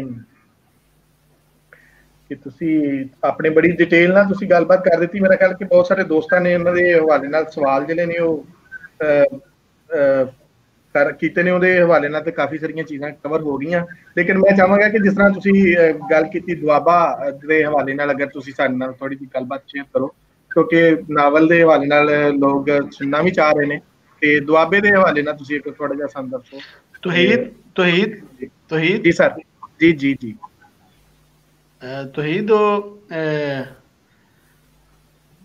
ਆਵਾਜ਼ ਆ ਰਹੀ ਮੇਰੀ? ਹਾਂਜੀ ਸਾਰਾ ਆ ਰਹੀ ਸੁਣ ਰਹੇ ਅਸੀਂ। ਹਾਂ ਤੋਹੀਦ ਇਜਾਜ਼ ਨੇ ਜਿਹੜੀ ਗੱਲ ਕੀਤੀ ਨਾ ਕਿ ਜੱਟ ਦਾ ਮਤਲਬ ਉਹ ਨਹੀਂ ਹੁੰਦਾ ਕਿ ਜਿਹਦੀ ਜ਼ਾਤ ਜੱਟ ਹੋਵੇ ਉਹ ਜਿਹੜਾ ਕਿਸਾਨੀ ਨਾਲ ਜੁੜੇ ਆ ਉਹ ਇੰਜ ਵੀ ਇੰਜ ਵੀ ਗੱਲ ਠੀਕ ਹੈ ਪਰ ਰੰਦਾਵਾ ਸਾਹਿਬ ਜਿੱਥੇ ਜੱਟ ਕਹਿੰਦੇ ਨੇ ਨਾ ਉਹ ਜੱਟ ਹੀ ਜੱਟ ਜ਼ਾਤ ਹੀ ਹੈ। ਉਹਨਾਂ ਨਾਲ ਇੱਕ ਵਾਰੀ ਇਹਦੇ ਉੱਤੇ ਨਾ ਗੱਲ ਵੀ ਹੋਈ ਸੀ ਮੇਰੀ। ਤੇ ਔਰ ਇਹਦੇ ਨਾਲ ਕੋਈ ਉਹਨਾਂ ਦੇ ਉਹਨਾਂ ਦੇ ਕੋਈ ਖਿਲਾਫ ਨਹੀਂ ਐਡੀ ਗੱਲ ਜਾਂਦੀ, ਅਗਰ ਉਹਨਾਂ ਦੇ ਕੈਰੈਕਟਰ ਜੱਟ ਹੀ ਨੇ ਔਰ ਜੱਟ ਜ਼ਾਤ ਦੇ ਨਾਲ, ਜੱਟ ਜ਼ਾਤ ਹੈ ਉਹਨਾਂ ਦੀ, ਔਰ ਉਹ ਇੰਜ ਸਮਝਦੇ ਵੀ ਸਨ। ਤੇ ਇਹਦੇ ਨਾਲ ਕੋਈ ਉਹਨਾਂ ਦੀ ਉਹ ਅਸੀਂ ਉਹ ਨਹੀਂ ਕਹਿ ਰਹੇ ਕਿ ਤੇ ਦੂਸਰਾ, ਇੱਕ ਵਾਰੀ ਨਾ ਵਕੀਲਾਂ ਦਾ ਇਲੈਕਸ਼ਨ ਹੋ ਰਿਹਾ ਸੀ, ਤੇ ਇੱਕ ਪਾਸੇ ਇੱਕ ਬੜਾ ਕੰਜ਼ਰਵੇਟਿਵ ਜਿਹਾ ਜੱਟ ਇਲੈਕਸ਼ਨ ਲੜ ਰਿਹਾ ਸੀ, ਤੇ ਦੂਸਰੇ ਪਾਸੇ ਜਿਹੜਾ ਸੀ ਕਿਸੇ ਹੋਰ ਜ਼ਾਤ ਦਾ ਸੀ ਵਕੀਲ। ਤੇ ਉਹਨਾਂ ਨੂੰ ਕਿਸੇ ਨੇ ਕਿਹਾ, ਔਰ ਮੈਂ ਖੁਦ ਸੁਣੀ ਗੱਲ ਕਿ ਉਹਨਾਂ ਨੂੰ ਕਿਸੇ ਨੇ ਕਿਹਾ ਕਿ ਰੰਧਾਵਾ ਸਾਹਿਬ, ਤੁਸੀਂ ਲਿਬਰਲ ਔਰ ਇਸ ਤਰ੍ਹਾਂ ਦੇ ਹੋ ਤੇ ਤੁਸੀਂ ਵੋਟ ਕਿਹਨੂੰ ਪਾ ਰਹੇ ਹੋ? ਤੁਸੀਂ ਤੇ ਉਹ ਜਿਹਨੂੰ ਵੋਟ ਪਾ ਰਹੇ ਹੋ ਤੇ ਬੜਾ ਕੰਜ਼ਰਵੇਟਿਵ ਜੇ। ਪਰ ਉਹ ਜੱਟ ਸੀ ਜਿਹਨੂੰ ਜਿਹਨੂੰ ਵੋਟ ਪਾ ਰਹੇ ਸਨ ਕੰਜ਼ਰਵੇਟਿਵ ਹੋਣ ਦੇ ਬਾਵਜੂਦ ਵੀ ਤੇ ਉਹਨਾਂ ਨੇ ਬਕਾਇਦਾ ਕਿਹਾ, ਉਹਨਾਂ ਕੇ ਧਰਮ ਨਾਲੋਂ ਧੜਾ ਪਿਆਰਾ। ਤੇ ਉਹ ਉਹ ਉਹ ਇਸ ਗੱਲ ਦੇ ਉੱਤੇ ਕੋਈ ਉਹਨਾਂ ਨੂੰ ਮਸਲਾ ਨਹੀਂ ਸੀ। ਉਹ ਕਹਿੰਦੇ ਸਨ ਉਹ ਜੋ ਸਮਝਦੇ ਸਨ ਉਸੇ ਤਰ੍ਹਾਂ ਉਹਨਾਂ ਨੇ ਲਿਖਿਆ। ਔਰ ਇਹ ਲਿਖਾਰੀ ਦਾ ਆਪਣਾ ਰਾਈਟ ਹੈ ਕਿ ਜੋ ਜਿਵੇਂ ਦੇ ਉਹਦਾ ਦਿਲ ਕਰੇ ਉਹ ਲਿਖੇ। ਅਸੀਂ ਕਿਵੇਂ ਉਹਨੂੰ ਡਿਕਟੇਟ ਕਰ ਸਕਦੇ ਹਾਂ ਪਰ ਉਹ ਇੰਜ ਹੀ ਸਮਝਦੇ ਸਨ। ਜੀ ਬਿਲਕੁਲ। ਜੀ ਇਜਾਜ਼ ਸਰ ਜੀ ਮੈਂ ਉਹਨਾਂ ਦੇ ਨਾਵਲ ਚ ਕੋਈ ਇੱਕ ਦੋ ਇਕਤਬਾਸ ਜਿਹੜੇ ਨੇ ਉਹ ਸਾਡਾ ਗੁਰਦਾਸ ਸਾਡਾ ਗੁਰਦਾਸ ਦਦਵਾਲ ਸਾਹਿਬ ਨੇ ਇੰਗਲੈਂਡ ਤੋਂ ਤੇ ਉਹਨਾਂ ਨੇ ਵੀ ਇਹੀ ਗੱਲ ਕੀਤੀ ਹੈ ਕਿ ਅਗਰ ਤੁਸੀਂ ਸੁਣਾ ਦਿਓ ਜੀ ਜੀ, ਮੈਂ ਉਹਨਾਂ ਦੇ ਦੁਆਬਾ ਨਾਵਲ ਵਿੱਚੋਂ ਨਾ ਇੱਕ ਦੋ ਇਕਤਬਾਸ ਜਿਹੜੇ ਨੇ, ਇੱਕ ਟੋਟੇ ਜਿਹੜੇ ਨੇ ਉਹ ਤੁਹਾਡੇ ਨਾਲ ਸਾਂਝੇ ਕਰਦਾ। ਕਿ ਉਹਦਾ ਪਿੰਡ ਸੌਣ ਭਾਦਰੋਂ ਦੇ ਉਹ ਸ਼ਰਲਾਟੇ ਸਨ, ਜਿਹੜੇ ਅੰਬਾਂ ਨੂੰ ਬੂਰ ਤੇ ਬੂਰ ਨੂੰ ਅੰਬੀਆਂ ਬਣਾ ਦਿੰਦੇ ਹਨ। ਅੰਬਾਂ ਦੇ ਬੂਟੇ, ਜਿਨ੍ਹਾਂ ਥੱਲੇ ਮੁੰਡੇ ਖੁੰਡੇ ਦੁਪਹਿਰਾਂ ਗੁਜ਼ਾਰਦੇ, ਖਰਮਸਤੀਆਂ ਕਰਦੇ ਜਾਂ ਚੂਈ ਚੜਾਂਗੜ ਖੇਡਣ ਦੇ ਬਹਾਨੇ ਉੱਤੇ ਚੜ ਕੇ ਕੱਚੀਆਂ ਤੇ ਖਟੀਆਂ ਅੰਬੀਆਂ ਖਾਂਦੇ ਤੇ ਸੀਸੀ ਕਰਦੇ। ਉਹਦਾ ਪਿੰਡ ਦਾਇਰੇ ਦੀ ਉਹ ਰੌਣਕ ਸੀ, ਜਿਹੜੀ ਦਿਨ ਰਾਤ ਜਾਗਦੀ ਤੇ ਜਵਾਨ ਰਹਿੰਦੀ। ਦਾਇਰਾ, ਜਿਹਦੇ ਵਿੱਚ ਬੈਠੇ ਬੁੱਢੇ ਠੇਰੇ, ਪਿਛਲੇ ਵਕਤਾਂ ਤੇ ਚੰਗੇ ਗੁਜ਼ਰੇ ਦਿਨਾਂ ਤੇ ਗੱਭਰੂ ਮੁੰਡੇ ਆਉਣ ਵਾਲੇ ਦਿਨਾਂ ਦੇ ਸੁਪਨੇ ਵੇਖਦੇ ਰਹਿੰਦੇ। ਉਹਦਾ ਪਿੰਡ ਉਹ ਮਾਗ ਦੀਆਂ ਉਹ ਠੰਡੀਆਂ ਠਾਰ ਲੰਮੀਆਂ ਤੇ ਕਾਲੀਆਂ ਰਾਤਾਂ ਨੂੰ ਵਿਹੜੇ ਤੇ ਹਵੇਲੀਆਂ ਵਿੱਚ ਬਲਣ ਵਾਲੇ ਮੱਚ ਤੇ ਧੂਏ ਸਨ, ਜਿਨ੍ਹਾਂ ਦਿਵਾਲੇ ਬਹਿ ਕੇ ਸਿਆਣੇ, ਗੱਭਰੂ ਤੇ ਅਯਾਣੇ ਹਰ ਤਰ੍ਹਾਂ ਦੀਆਂ ਗੱਲਾਂ ਕਰਦੇ। ਇੱਕ ਹੋਰ ਉਹਨਾਂ ਦਾ ਲਿਖਿਆ ਹੋਇਆ ਸੀ ਨਾਵਲ ਵਿੱਚੋਂ ਟੋਟਾ ਹੈ ਕਿ ਜੱਟ ਦਾ ਪੁੱਤਰ ਤੇ ਜੰਮਦਾ ਹੀ ਜਫਰ ਜਾਲਣ ਲਈਏ। ਜੱਟ ਦਾ ਪੁੱਤਰ ਤੇ ਜੰਮਦਾ ਹੀ ਜਫਰ ਜਾਲਣ ਲਈਏ ਹਲ ਦੀ ਝੱਗੀ ਜਿਹੜਾ ਹੁੰਦਾ ਹੈ ਤੇ ਉਹਨੂੰ ਖੋਪੇ ਲਾ ਕੇ ਖੁਰਾਸ ਜੋ ਦਿੰਦੇ ਨੇ, ਤੇ ਉਹ ਮਰਨ ਦੀ ਉਦਾਂ ਹੀ ਖੁਰਾਸ ਜੁੱਪਾ ਵਗਦਾ ਰਹਿੰਦਾ ਹੈ ਹਰ ਫੇਰਾ ਪਿੱਛੇ ਨਾਲੋਂ ਚੰਗਾ, ਤੇਜ਼, ਦੁੱਖਾਂ ਤੇ ਸਖਤੀਆਂ ਦੇ ਗੱਡੇ ਜੁੱਪੇ ਹੋਏ ਨੂੰ ਨਾ ਜੂਲਾ ਸੁੱਟਣ ਦਾ ਹੁਕਮ ਹੈ ਨਾ ਲੀਕ ਪਾੜਨ ਦਾ। ਵੱਡਿਆਂ ਦੀ ਬਣਾਈ ਹੋਈ। ਉਹਦੀ ਹਰ ਲੜਾਈ ਆਪਣੇ ਨਾਲੋਂ ਕਿਤੇ ਤਗੜੇ ਤੇ ਕਿਤੇ ਜ਼ੋਰਾਵਰ ਨਾਲ ਹੁੰਦੀ ਏ, ਪਰ ਨਾ ਹਾਰ ਮੰਨਣ, ਪਰ ਨਾ ਹਾਰ ਮੰਨਣ ਵਾਲਾ ਪਰ ਨਾ ਹਾਰ ਮੰਨਣ ਦਾ ਉਹਨੂੰ ਇਖਤਿਆਰ ਹੈ ਤੇ ਨਾ ਮੂੰਹੋਂ ਬੋਲਣ ਦਾ। ਇਹ ਸਾਰਾ ਇਲਮ ਉਹਦੇ ਲਹੂ ਵਿੱਚ ਹੁੰਦਾ ਹੈ ਤੇ ਲਹੂ ਉਹ ਆਪਣੇ ਵੱਡਿਆਂ ਕੋਲੋਂ ਲੈਂਦਾ ਹੈ ਤੇ ਇੰਜ ਦੁੱਖਾਂ ਨਾਲ ਘੁਲਦਾ ਘੁਲਦਾ ਉਹ ਜ਼ੋਰਾਵਰ ਹੋ ਜਾਂਦਾ ਹੈ ਹੂੜ ਮਤ ਵਿੱਚ ਸਾਰੀ ਉਮਰ ਪੁੱਠਾ ਖੂ ਗੇੜਦਿਆਂ ਗੇੜਦਿਆਂ ਹੱਸਦਾ ਖੇਡਦਾ ਉਹ ਆਪਣੀ ਉਮਰ ਲੰਘਾ ਦਿੰਦਾ ਹੈ ਤੇ ਜਿਸ ਤਰ੍ਹਾਂ ਖੁਸ਼-ਖੁਸ਼ ਉਹ ਹਯਾਤੀ ਵਿੱਚ ਦੌੜਦਾ ਹੈ ਤੇ ਮੇਲਾ ਵੇਖਦਾ ਹੈ ਉਸ ਤਰ੍ਹਾਂ ਹੀ ਖੁਸ਼-ਖੁਸ਼ ਉਹ ਮੇਲਾ ਛੱਡ ਜਾਂਦਾ ਤੇ ਆਪਣੇ ਮਗਰੋਂ ਆਉਣ ਵਾਲਿਆਂ ਲਈ ਆਪਣੇ ਕਿਸੇ ਕਹਾਣੀਆਂ ਛੱਡ ਜਾਂਦਾ ਹੈ ਇੱਕ ਹੋਰ ਕਿ ਅਸੀਲ ਕੁੱਕੜ ਵਾਂਗੂ ਧੌਣ ਉੱਚੀ ਕਰਕੇ ਪਹਿਲਾਂ ਪਾਉਂਦੇ ਮੋਰਾ ਵਾਂਗੂ ਹੌਲੇ-ਹੌਲੇ ਨਸ਼ੇ ਤੇ ਸਰੂਰ ਵਿੱਚ ਤੁਰਦਾ। ਜਿਉਂ-ਜਿਉਂ ਉਹ ਪਿੰਡ ਦੇ ਨੇੜੇ ਹੁੰਦਾ ਜਾਂਦਾ, ਪਿੰਡ ਉਹਨੂੰ ਹੋਰ ਤਾਕਤ ਤੇ ਹੋਰ ਜ਼ੋਰ ਨਾਲ ਆਪਣੇ ਵੱਲ ਖਿੱਚਦਾ ਲੱਗਦਾ। ਉਹਦਾ ਜੀ ਕਰਦਾ। ਹਨੇਰਾ ਹੋਣ ਨੂੰ ਉਡੀਕਣ ਦੀ ਥਾਂ, ਉਹ ਲੰਮੀ ਦੌੜ ਮਾਰੇ ਤੇ ਪਿੰਡ ਅਪੜ ਜਾ ਹਨੇਰਾ ਤੇ ਪਾਲਾ ਹੌਲੀ-ਹੌਲੀ ਵਧਦੇ ਜਾਂਦੇ ਸਨ ਤੇ ਉਹ ਹੌਲੀ-ਹੌਲੀ ਪਿੰਡ ਤੋਂ ਨੇੜੇ ਹੁੰਦਾ ਜਾਂਦਾ ਸੀ। ਹੁਣ ਉਹਨੂੰ ਪਿੰਡ ਦੀ ਵਸੋਂ ਤੇ ਹਯਾਤੀ ਦੀਆਂ ਬਾਜ਼ਾਂ ਆਉਂਦੀਆਂ ਸੁਣੀਆਂ ਜਾਣ ਲੱਗ ਪਈਆਂ। ਉਹਦੇ ਨੱਕ ਵਿੱਚ ਪਾਥੀਆਂ ਦੇ ਧੂਏ ਨਾਲ ਰੱਲੀ ਪੱਕਦੇ ਅੰਨ ਦੀ ਮਹਿਕ ਬੜੀ ਜਾਂਦੀ। ਉਸ ਕੰਬਲ ਸਵਾਰਾ ਕਰਕੇ ਬੁੱਕਲ ਮਾਰ ਕੇ ਮੂੰਹ ਸਿਰ ਕੰਬਲ ਵਿੱਚ ਲੁਕਾ ਲਿਆ, ਉਹਦਾ ਦਿਲ ਕਰਦਾ, ਉਹ ਕੰਬਲ ਦੀ ਬੁੱਕਲ ਲਾ ਕੇ ਕੰਬਲ ਦੂਰ ਸੱਟੇ ਤੇ ਮੂੰਹ ਦਿਵਾਲੇ ਹੱਥਾਂ ਦਾ ਘੁੱਗੂ ਬਣਾ ਕੇ ਪੂਰਾ ਜ਼ੋਰ ਲਾ ਕੇ ਪਿੰਡ ਵੱਲ ਮੂੰਹ ਕਰਕੇ ਆਵਾਜ਼ ਮਾਰੇ ਤੇ ਆਖੇ, ਉਹ ਦੁਆਬੇ ਵਾਲਿਓ, ਸੁਣੋ, ਭਾਈ ਓਏ, ਮੈਂ ਆ ਗਿਆ ਜੇ। ਤੇ ਸਾਰੇ ਦਾ ਸਾਰਾ ਪਿੰਡ ਪਿੰਡ ਦੇ ਸਾਰੇ ਲੋਕ, ਸਾਰੇ ਸੱਜਣ, ਸਾਰੇ ਦੁਸ਼ਮਣ, ਸਾਰੀਆਂ ਕੱਚੀਆਂ ਪੱਕੀਆਂ ਕੰਧਾਂ, ਸਾਰੇ ਢੋਰ ਡੰਗਰ ਪਿੰਡ ਦੇ ਦਿਵਾਲੇ ਤੇ ਵਿਹੜਿਆਂ ਵਿੱਚ ਉੱਗੇ ਹੋਏ ਰੁੱਖ, ਉਹਦੀ ਆਵਾਜ਼ ਸੁਣਨ ਤੇ ਸਾਰਿਆਂ ਨੂੰ ਪਤਾ ਲੱਗ ਜਾਏ, ਉਸੇ ਘੜੀ ਜੇ ਲੱਖੀ ਆ ਗਿਆ ਹੈ।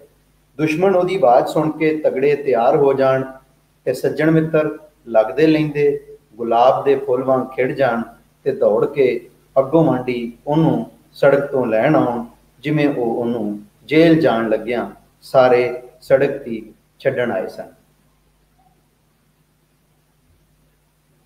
ਹਾਂਜੀ ਥੈਂਕ ਯੂ ਬਹੁਤ ਮਿਹਰਬਾਨੀ। ਇਸ ਦੇ ਨਾਲ ਹੀ ਸਾਰੇ ਦੋਸਤ ਜਿਹੜੇ ਸਾਡੇ ਨਾਲ ਅੱਜ ਮੌਜੂਦ ਸਨ ਉਹਨਾਂ ਦਾ ਮੈਂ ਬਹੁਤ ਬਹੁਤ ਸ਼ੁਕਰੀਆ ਅਦਾ ਕਰਾਂਗਾ ਕਿ ਉਹ ਸਾਡੇ ਨਾਲ ਅੱਜ ਦੀ ਇਸ ਮਹਿਫਲ ਦੇ ਵਿੱਚ ਸਾਡੇ ਇਸ ਲੈਲਪੁਰ ਯੰਗ ਹਿਸਟੋਰੀਅਨ ਕਲੱਬ ਦੇ ਇਸ ਕਲੱਬ ਦੇ ਵਿੱਚ ਆਏ ਅੱਜ ਔਰ ਆਪਣੀ ਗੱਲਬਾਤ ਰੱਖੀ ਖਾਸ ਕਰ ਇਜਾਜ਼ ਸਾਹਿਬ ਨੇ ਵੀ ਆਪਣੀ ਕਿਤਾਬ ਦੇ ਹਵਾਲੇ ਨਾਲ ਆਏ ਔਰ ਗੱਲਬਾਤ ਕੀਤੀ। ਮੈਂ ਬਹੁਤ ਮਸ਼ਕੂਰ ਹਾਂ ਪ੍ਰੋਫੈਸਰ ਜ਼ੁਬੈਰ ਅਹਿਮਦ ਸਾਹਿਬ ਦਾ ਕਿ ਸਰ ਅੱਜ ਆਏ ਔਰ ਉਹਨਾਂ ਨੇ ਆਕੇ ਬਹੁਤ ਖੂਬਸੂਰਤ ਗੁਫ਼ਤਗੂ ਇਸ ਤੇ ਕਿਤਾਬ ਦੇ ਹਵਾਲੇ ਨਾਲ ਕੀਤੀ ਔਰ ਨੈਨ ਸੁਖ ਸਾਹਿਬ ਨੇ ਜਿਸ ਤਰ੍ਹਾਂ ਇਸ ਪੂਰੇ ਤਰੀਕੇ ਨਾਲ ਸਾਡੀ ਗੱਲਬਾਤ ਕੀਤੀ ਔਰ ਅੱਜ ਦੇ ਇਸ ਪ੍ਰੋਗਰਾਮ ਦੇ ਵਿੱਚ ਸਾਡੇ ਜਿਹੜੇ ਹਿਸਟਰੀ ਦੇ ਅਸੀਂ ਜਿਹੜੇ ਲੋਕ ਆ ਖਾਸ ਕਰ ਅਸੀਂ ਲਿਟਰੇਚਰ ਦੇ ਨਾਲ ਵੀ ਵੇਖਣੀਆਂ ਚੀਜ਼ਾਂ ਨੂੰ ਪਰ ਅਸੀਂ ਹਿਸਟਰੀ ਦੇ ਜਿਹੜੇ ਮੋਸਟਲੀ ਲੋਕ ਆ ਉਹਨਾਂ ਵਾਸਤੇ ਇਹ ਇਹ ਬਹੁਤ ਅਹਿਮ ਹੁੰਦਾ ਹੈ ਕਿ ਇਸ ਤਰ੍ਹਾਂ ਨਾਵਲ ਨੂੰ ਵੀ ਉਹ ਸੁਣ ਸਕਣ ਕਿ ਅੱਜ ਦੇ ਇਸ ਪ੍ਰੋਗਰਾਮ ਵਾਸਤੇ ਮੈਂ ਬਹੁਤ ਬਹੁਤ ਸ਼ੁਕਰੀਆ ਅਦਾ ਕਰਨਾ ਤੁਹਾਡੇ ਸਾਰੇ ਦੋਸਤਾਂ ਦਾ। ਆ ਸ਼ੁਕਰੀਆ ਤੁਹਾਡਾ ਵੀ ਜੱਟਾ ਜੀ। ਮਿਹਰਬਾਨੀ ਜੀ।